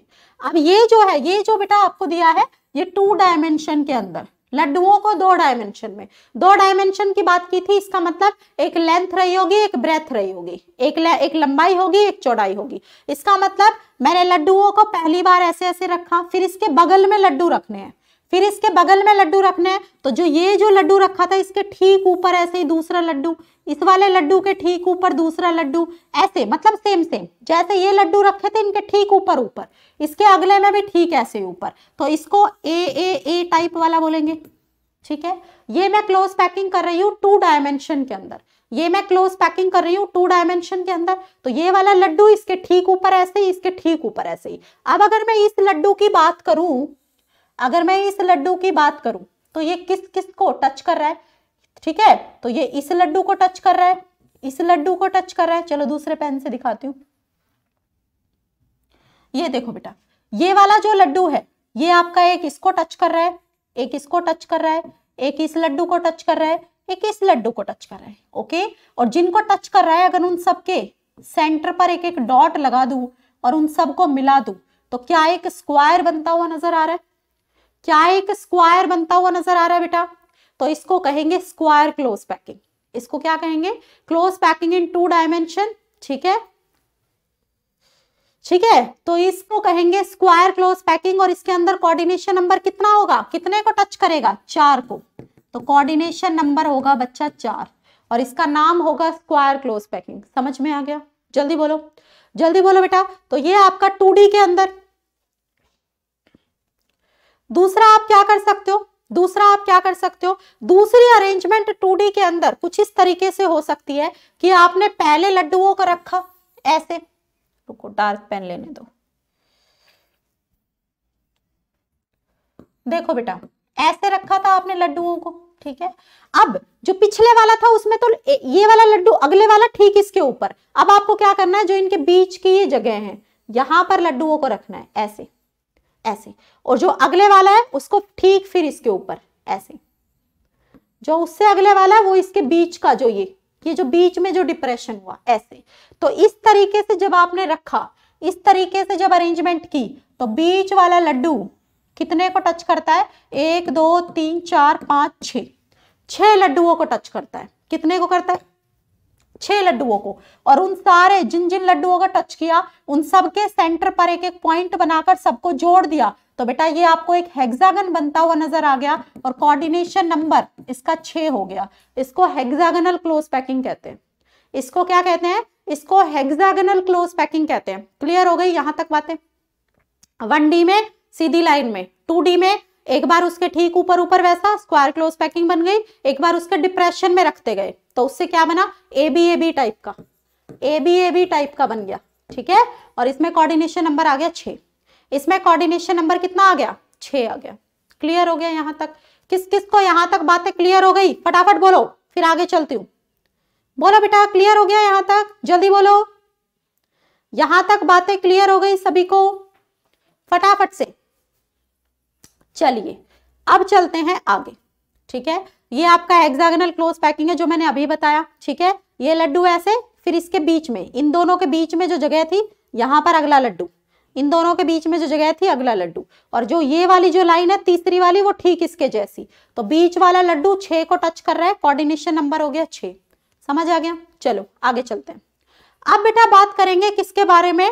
ठीक है थ्री के बारे में। अब थ्री का जहाँ पर भी आया कॉन्सेप्ट इसका मतलब लेंथ भी होगी ब्रेथ भी होगी और हाइट भी होगी। लेंथ भी होगी ब्रेथ भी होगी और हाइट भी होगी, है ना? इनके केस में, यहाँ पर पिछले वाले में सिर्फ़ लेंथ थी और हाइट थी। अब यहाँ पर जो है, क्या होगी? ब्रेथ भी होगी। मतलब जो पिछले वाले केस में जो आपने नीचे एक सतह जमाई, है ना? डिब्बा रखा आपने, खाली डिब्बा, उसके अंदर लड्डू जचाए, अब उसके ऊपर दूसरी लेयर लड्डू की जचानी है। फिर उसके ऊपर और लड्डू जचाने हैं। ठीक है, इस तरीके से। तो थ्री में अरेंजमेंट कैसे होगी? अब बेटा, ये आपको थ्री डी यहाँ दिख तो सकता नहीं बोर्ड पे क्योंकि बोर्ड तो आपका टू डायमेंशन है ओके अब आप ऐसा सोचो कि जो आपकी स्क्वायर क्लोज पैकिंग थी, जो आपकी स्क्वायर क्लोज पैकिंग थी, जिसमें हमने एक लाइन जचा के उसके ऊपर ठीक वैसे ही लाइनें जचाई थी, वैसा एक अरेंजमेंट नीचे कर दिया ग्राउंड पे। वैसा एक अरेंजमेंट नीचे ग्राउंड पे कर दिया और उसके ठीक ऊपर वैसी दूसरी लेयर उसके ठीक ऊपर वैसी तीसरी लेयर उसके ठीक ऊपर वैसी चौथी लेयर इस तरीके से स्क्वायर क्लोज पैकिंग के ऊपर, ठीक उनके ऊपर ऐसे जचते गए तो ये पैकिंग आ जाती है, इसको ए ए ए टाइप बोलते हैं थ्री के अंदर. और इसके अंदर कोऑर्डिनेशन नंबर आता है बारह. इसके अंदर कोऑर्डिनेशन नंबर आता है बारह. ओके क्लियर हो गया बेटा? जल्दी बोलो. ठीक है? इसके अंदर जो है आपका कोऑर्डिनेशन नंबर कितना आएगा? इसके अंदर आपका कोऑर्डिनेशन नंबर इसके अंदर कोऑर्डिनेशन नंबर आता है बच्चा आठ, बारह नहीं, आठ आता है। इसके अंदर कोऑर्डिनेशन नंबर आएगा आठ, है ना? तो ये जो ए ए ए टाइप वाला है, इसके अंदर कोऑर्डिनेशन नंबर आपका कितना आएगा? एट आएगा। नीचे आपने, ठीक है, वो लाइन जो चाहिए, उसके ठीक ऊपर वैसी ही, उसके ठीक ऊपर वैसी जैसे आपकी ये वाली थी। देखो, ये नीचे लड्डू ऐसे जचा दिए डब्बे में, इसके ऊपर ठीक ऊपर ऐसे लड्डू, फिर उनके ऊपर लड्डू, ऐसे ए ए ए टाइप वाला। ऐसे आपका बनता है बच्चे ए ए ए टाइप वाला। देखो, अब इसको सोचोगे तो कैसे? अब देखो, ये है आपका। अब बेटा, ये जो है, ठीक है, ये कितने से जुड़ा हुआ होगा? कितने से जुड़ा हुआ होगा? देखो अब चार तो ये अपने इसी लेयर में कनेक्टेड है और इसके ठीक ऊपर ऐसी एक लेयर और जचा दी आपने। जब इसके ठीक ऊपर ऐसी एक और लेयर आपने जचा दी, ठीक है तो फिर ये कितने से कनेक्ट हुआ होगा? ऊपर वाली लेयर में भी तो टच हो रहा होगा और ऐसे ही जो इसके नीचे वाली जो लेयर है, उसमें भी ये टच हो रहा होगा। ऐसे ही इसके नीचे वाली लेयर में भी ये टच हो रहा होगा। ओके? तो इस तरीके से अब आप ऐसे सोच तो नहीं सकते, ठीक है? इसके ठीक ऊपर ऐसे ही, ऐसी, इसके ठीक नीचे ऐसी, जब थ्री में ऐसे जचाते जाएँगे तो फिर इसका कोऑर्डिनेशन नंबर आ जाएगा आठ ओके अगला देखो। ये देखो, अब इसमें स्टोरी क्या हुई? इसमें स्टोरी हुई बेटा, इसमें स्टोरी कुछ ऐसी हुई कि आपने जो नीचे वाली जो लेयर ली, अब स्क्वायर क्लोज पैकिंग की नहीं ली। अब जो नीचे आपने डब्बे में, जो ग्राउंड पे जो सबसे नीचे वाली लेयर में डब्बे पे जचा रहे हो लड्डू, वो लड्डू आपने स्क्वायर क्लोज पैकिंग नहीं हेक्सागोनल क्लोज पैकिंग जैसे जचाए। पहले एक लेयर जचाई, ठीक है? और उसके डिप्रेशन में अगली लेयर जचाई, ऐसे। फिर जो तीसरी है वो पहले वाली जैसी। ऐसे नीचे वाले आपने ऐसे जचाए। नीचे वाले आपने ऐसे जचाए। ये जो ग्रीन कलर के नज़र आ रहे हैं, वो आपने नीचे जचाए हैं। वो आपने कहा जचाए हैं बच्चा? नीचे जचाए हैं। और उसके बाद जो ब्लू कलर से आपको नज़र आ रहे हैं ब्लू कलर से, ठीक है? अब ब्लू कलर में हम उसके ठीक ऊपर लड्डू रख रहे हैं। और ठीक ऊपर लड्डू, अब हम देखो कैसे रख सकते हैं ठीक ऊपर लड्डू। तो ठीक ऊपर लड्डू रखे गए, ठीक है? जो बीच में ये जो ऐसे वाले जो ट्राइंगल थे ना, इनके ठीक ऊपर लड्डू रख दिए गए। जो ऐसे वाले जो ट्राइंगल थे, इनके ठीक ऊपर लड्डू रख दिए गए। ऐसे वाले ट्राइंगल इस ट्राइंगल के ठीक ऊपर लड्डू, इस ट्राइंगल के ठीक ऊपर लड्डू।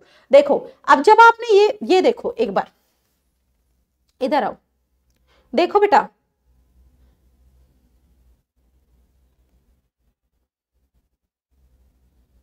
ये देखो, ये आपकी हेक्सागोनल क्लोज पैकिंग है, ये आपकी हेक्सागोनल क्लोज पैकिंग है हेक्सागोनल क्लोज पैकिंग जिसमें पहली लाइन ऐसी और अगले वाला लड्डू इनके डिप्रेशन में।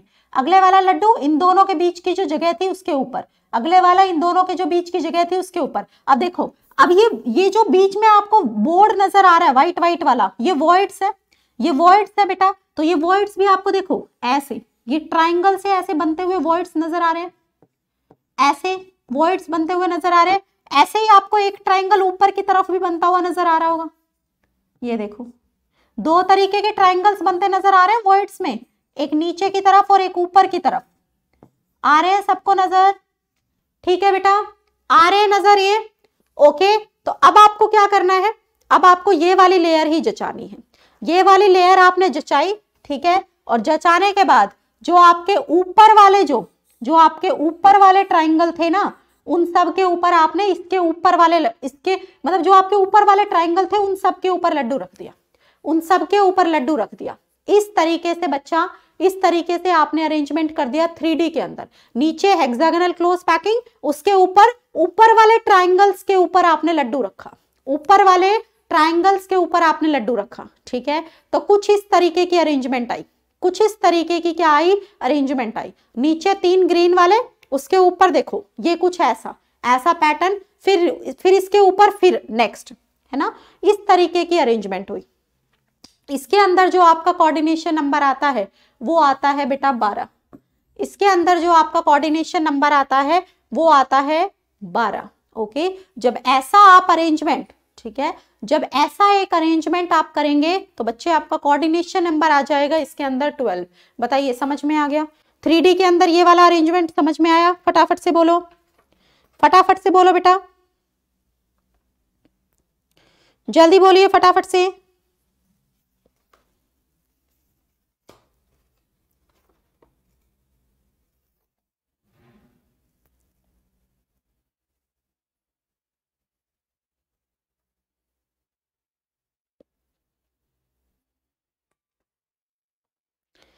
बताइए बच्चा।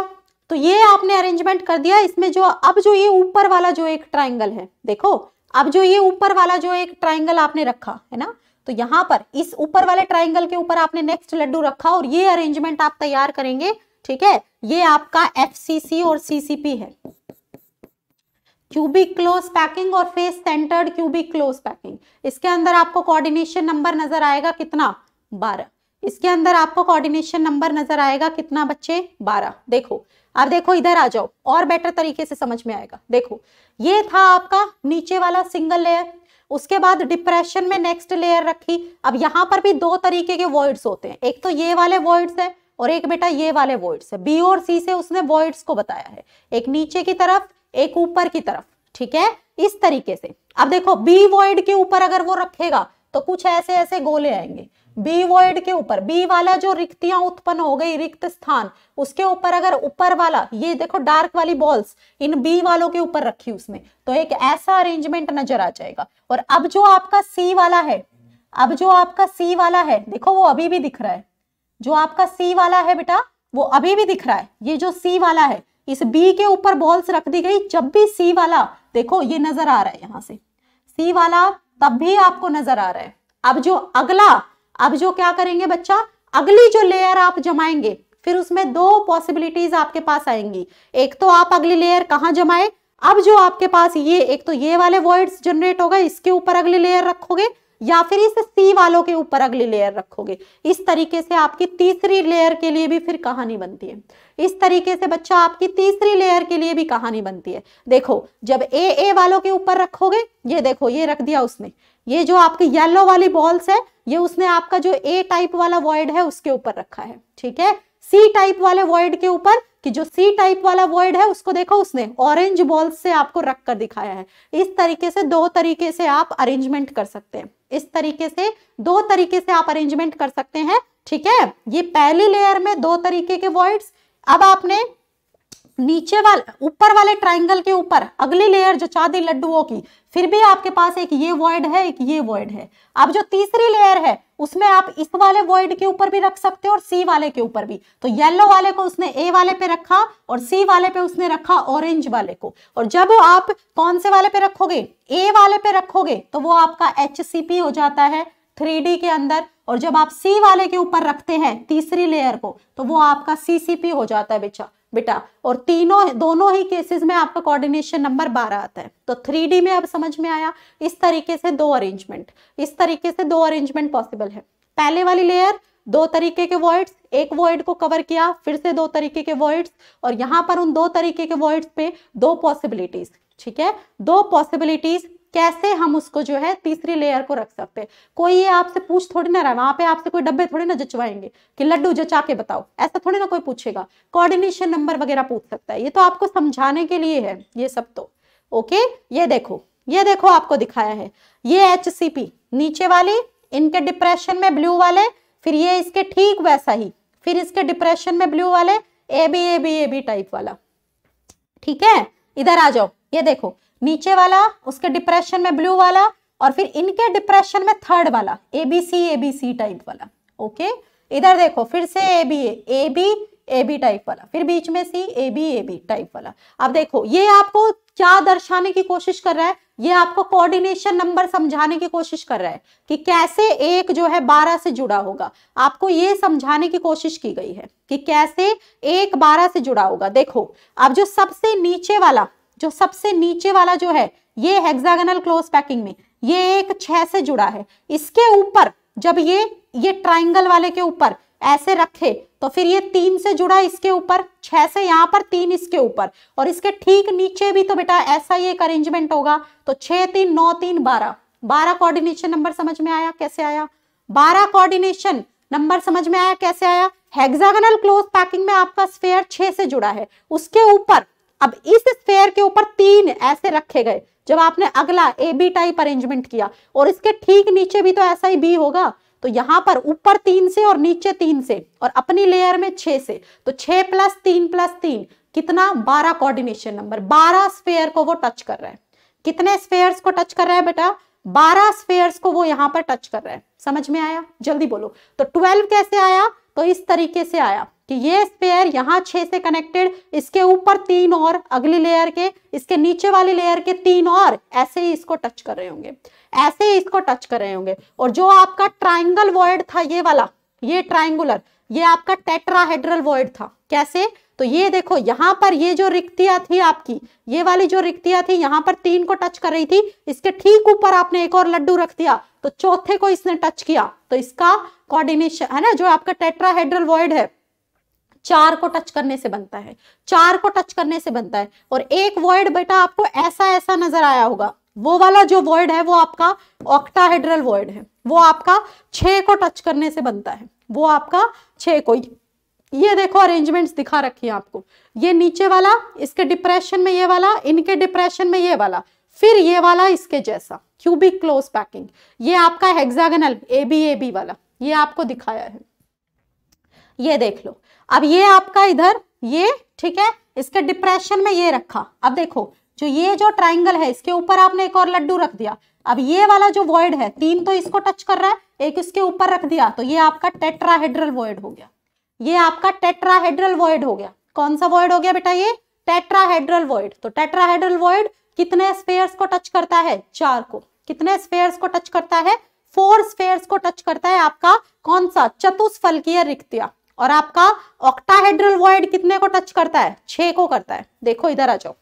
इधर आ जाओ। ये टेट्राहेड्रल हो गया। देखो, अब नीचे वाला काले वाले बॉक्सेस देखो। काले वाला आपका हेक्सागोनल क्लोज पैकिंग दिखाई है। ये वाली लेयर काली, इसके ऊपर डिप्रेशन में नेक्स्ट ठीक है? और देखो, उसके ऊपर फिर ब्लू रखे हैं। उसके ऊपर फिर ब्लू रखे हैं। अब जो आपके टेट्राहेड्रल थे, वो तो कौन से थे?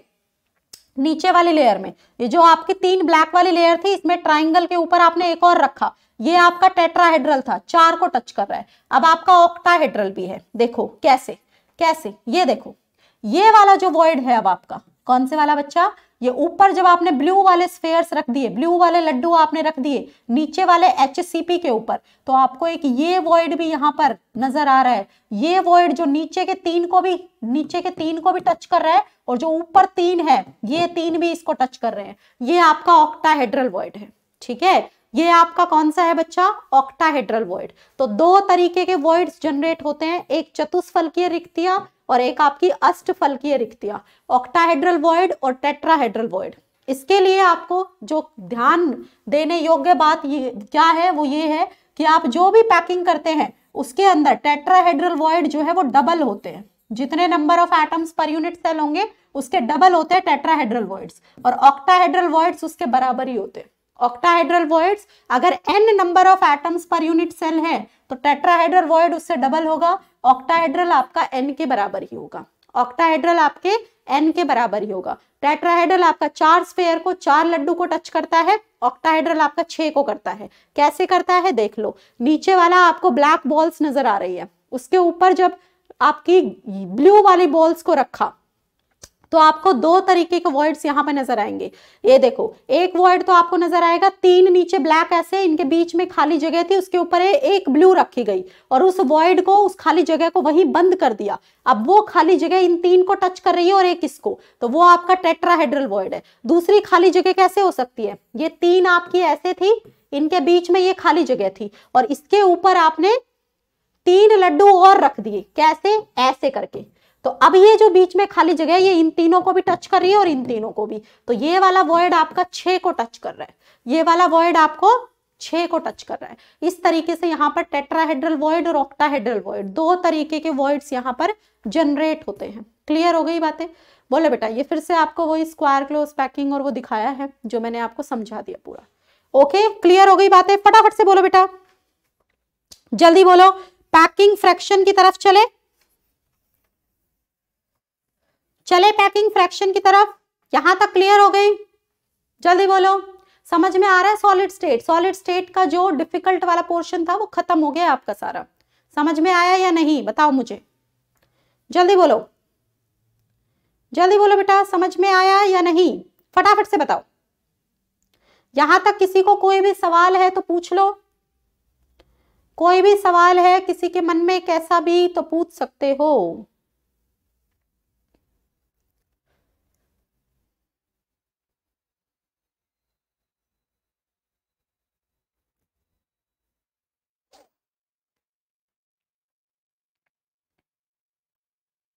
क्लियर है यहाँ तक? सबको समझ आ गया?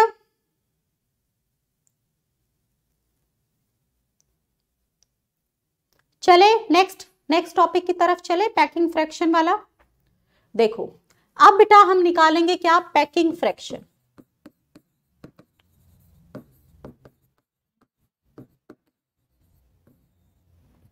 संकुलन क्षमता। क्या निकालेंगे?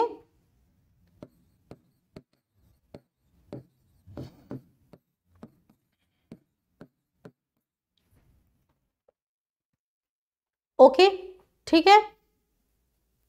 ओके इजी लगा बहुत। चलिए, बहुत बढ़िया बात है। संकुलन क्षमता की बात करते हैं बेटा। देखो, सबसे पहले देखते हैं सिंपल क्यूबिक के लिए।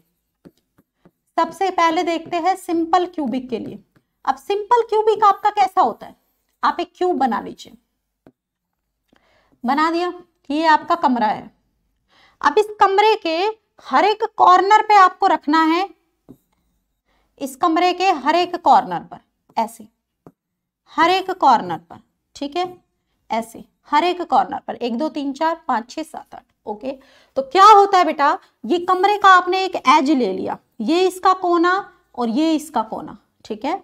तो आपने दो, इन दोनों कोनों के ऊपर जब आप एटम्स को रखते हैं तो ये दोनों एटम्स ऐसे रखे जाते हैं। हालाँकि यहाँ पर आपको टच करते हुए नज़र नहीं आ रहे होंगे, लेकिन ये असलियत में ऐसे ही है। रुक जाओ। असलियत में बेटा ये ऐसे ही है। ये एक इसके ऊपर, इस कोने पे, दूसरा इस कोने पे। और ये दोनों आपस में ऐसे एक दूसरे को टच करते हैं। ये वाला कोने वाला भी और ये वाला कोने वाला भी। तो यहाँ पर आप क्या देख पा रहे हो? ये आपका एटम है। तो ये इसका क्या हो गया? रेडियस ये दूसरा एटम है। ये उसका क्या हो गया? रेडियस ओके और यहाँ से यहाँ तक का लेंथ आपका क्या है? इस क्यूब की एज लेंथ है। इस क्यूब की क्या है बेटा? एज लेंथ है तो इस क्यूब की एज लेंथ ए को अगर मैं रेडियस से कनेक्ट करूँ तो दो एटम्स का रेडियस टू आर तो मेरा ए बराबर टू आर हो गया। मेरा ए किसके बराबर होगा? टू आर हो गया। ये बहुत जगह यूज़ होगा कि सिंपल क्यूबिक के लिए एज लेंथ और रेडियस का क्या जो है रिलेशन है। तो आपका ए किसके बराबर आ जाएगा? टू आर के बराबर आ जाएगा। बताओ क्लियर हो गया? जल्दी बोलो बेटा क्लियर हो गया? फटाफट से बोलो सेशन को शेयर करो सभी लोग। शेयर करिए सभी लोग सेशन को और मुझे बताइए, ये बात क्लियर हो गई कि ए बराबर टू आर कैसे आया? क्योंकि मैं सिंपल क्यूबिक की बात कर रही हूँ, सिर्फ़ कॉर्नर्स पे होगा। अगर बात करूँ इन दो कॉर्नर्स की तो दो एटम्स आपस में कनेक्टेड होंगे और यहाँ से यहाँ तक का डिस्टेंस मेरा क्या है? एज लेंथ ए के बराबर। वो क्यूब का एज लेंथ है और दो एटम्स वहाँ पर कनेक्टेड है तो दोनों का रेडियस उस ए के बराबर है। तो ए किसके बराबर आ गया? टू आर के बराबर आ गया। संकुलन क्षमता कैसे निकालते हैं? पैकिंग फ्रैक्शन तो fraction of space occupied by atoms कैसे निकालते हैं? क्या होती है packing fraction fraction of space occupied by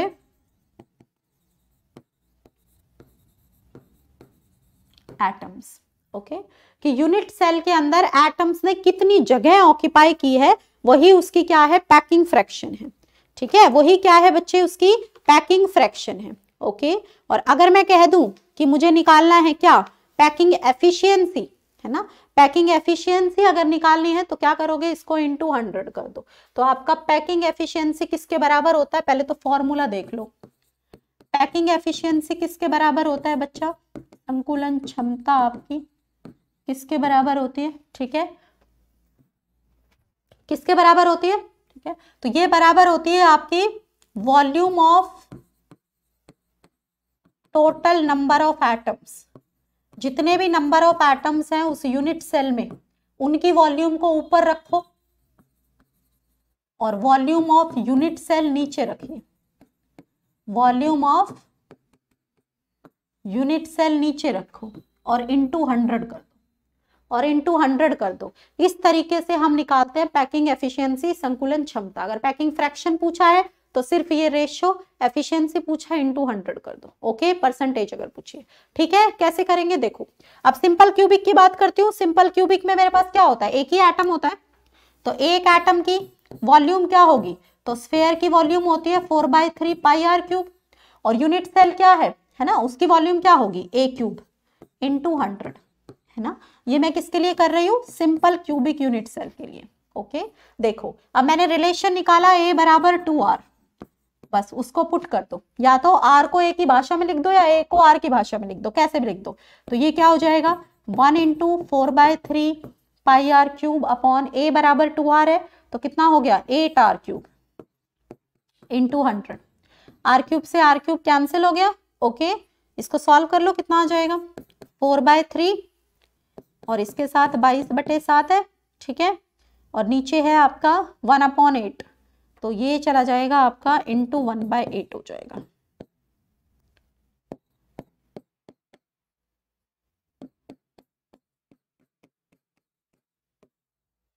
निकाल लो इसको कितना आएगा। निकाल लो बेटा कितना आएगा? 52.4 परसेंट वेरी गुड ठीक है? तो एस के अंदर आपकी पैकिंग एफिशिएंसी आ जाएगी 52.4 परसेंट इसका मतलब इतनी जगह वहाँ पर एटम्स ने ऑक्यूपाई करी है इस वाले यूनिट सेल के अंदर। और आपको वॉइड परसेंटेज पूछा जाए कि रिक्तियों ने कितनी जगह ली है? वॉइड की पैकिंग एफिशिएंसी पूछ ली जाए तो कितनी होगी? तो वॉइड वॉइड के लिए पूछ लिया जाए आपको तो कितना होगा बेटा? 100 minus fifty two point void आप कैसे कैलकुलेट करोगे? 48 प्रतिशत। वॉइड आपका कितना आ जाएगा बेटा? 48 प्रतिशत आ जाएगा वॉइड वॉइड कितना आ जाएगा आपका? वॉइड आएगा 48 परसेंट फोर्टी परसेंट जो है, इसके अंदर आपका वॉइड आ जाएगा। ओके ठीक है? चलिए नेक्स्ट वाला जो है, एक बार आप करो ट्राई नेक्स्ट वाला करिए, एक बार आप ट्राई करेंगे? बताइए जरा, ये वाला समझ में आ गया? बोलो जरा, ये वाला समझ में आया? बोलो फटाफट से क्लियर हो गया ये वाला? जल्दी बोलिए। चलिए तो इसके बाद है बच्चा आपका, ठीक है पैकिंग एफिशिएंसी की बात करेंगे हम किसकी? इसके बाद पैकिंग एफिशिएंसी की बात करेंगे एफसीसी की और बीसीसी की, ठीक है? और फिर हमारे पास बच जाएँगे डिफेक्ट्स ओके और ये सारी स्टोरी मैं आपको कराऊँगी कल की क्लास में ओके पैकिंग एफिशिएंसी और डिफेक्ट्स ये सारे मैं कराऊँगी आपको कल की क्लास में, साथ में कुछ सवाल भी कराऊँगी, साथ में कुछ क्वेश्चंस भी हम लोग करेंगे ओके डेंसिटी के बारे में हाँ एक और इंपॉर्टेंट टॉपिक बचा है डेंसिटी ये सब मैं आपको कल की क्लास में कराऊँगी ओके मुझे बताओ, आज की क्लास जो है, कैसी रही? आप लोगों को समझ में आया जितना चैप्टर मैंने आज डिस्कस किया? ठीक है, बाकी कल फिर आपका सॉलिड स्टेट खत्म हो जाएगा ओके सॉलिड स्टेट कल आपका खत्म हो जाएगा आज की क्लास के रिगार्डिंग किसी को कोई भी समस्या, तकलीफ़ डाउट कुछ भी रहा तो पूछ सकते हैं। कोई भी समस्या, तकलीफ़ डाउट आज की क्लास के रिगार्डिंग है तो बता दीजिए, पूछ लीजिए। बोलो बेटा, कैसे एप्लीकेशन को डाउनलोड कर सकते हो? एप्लीकेशन को डाउनलोड करने के लिए अपना फ़ोन उठाओ प्ले स्टोर में जाओ टाइप करो एग्जामपुर जैसे ही आप टाइप करोगे एग्जामपुर ठीक है, लोगों के साथ आपको नज़र आएगा उसको वहाँ से इंस्टॉल करिए, अपने आप को रजिस्टर करिए, ठीक है? और आपके आसपास में जो भी भाई बंधु सरकारी नौकरी की तैयारी कर रहे हैं, उनको इस प्लेटफॉर्म के बारे में बताइए। ऑफलाइन भी गुरुकुल के नाम से शुरू हो गया है नोएडा में, ठीक है? उसकी जानकारी भी आप दे सकते हैं, अगर आप यूपी से बिलोंग करते हैं। ऑफलाइन आकर भी पढ़ सकते हैं। यूपीएसआई पुलिस, है ना? कांस्टेबल इन सब की तैयारी कर सकते हैं। विवेक सर की गाइडेंस में ओके बहुत अच्छे से समझ आ गया ma'am ji no doubt okay चलिए। तो अब मैं मिलूँगी आपसे कल, और इसका जो सेकेंड हाफ़ है, ठीक है? डिफेक्ट्स वाला, है ना, थोड़ी थोड़ी सी चीज़ें इधर से भी है डेंसिटी और ये सब तो ये मैं आपके साथ कल डिस्कस करूँगी ओके तो सभी को अब मेरी तरफ़ से टाटा बाय बाय अब मैं मिलूँगी आपसे दो बजे वाले सेशन में, जिसमें हम स्टार्ट करेंगे ऑर्गेनिक का हमारा नया चैप्टर अल्डिहाइड्स वाला अल्डिहाइड कीटोन कार्बोक्सिलिक वाला ओके तो अभी के लिए मेरी तरफ़ से सभी को टाटा बाय बाय ठीक है? ओके चलिए बेटा। मोटिवेशन मोटिवेशन चाहिए? चलो मोटिवेट करूँगी दो बजे वाले सेशन में, है ना? तब मोटिवेशन की ज़रूरत होगी ना? है ना? ओके चलिए बच्चों, टाटा बाय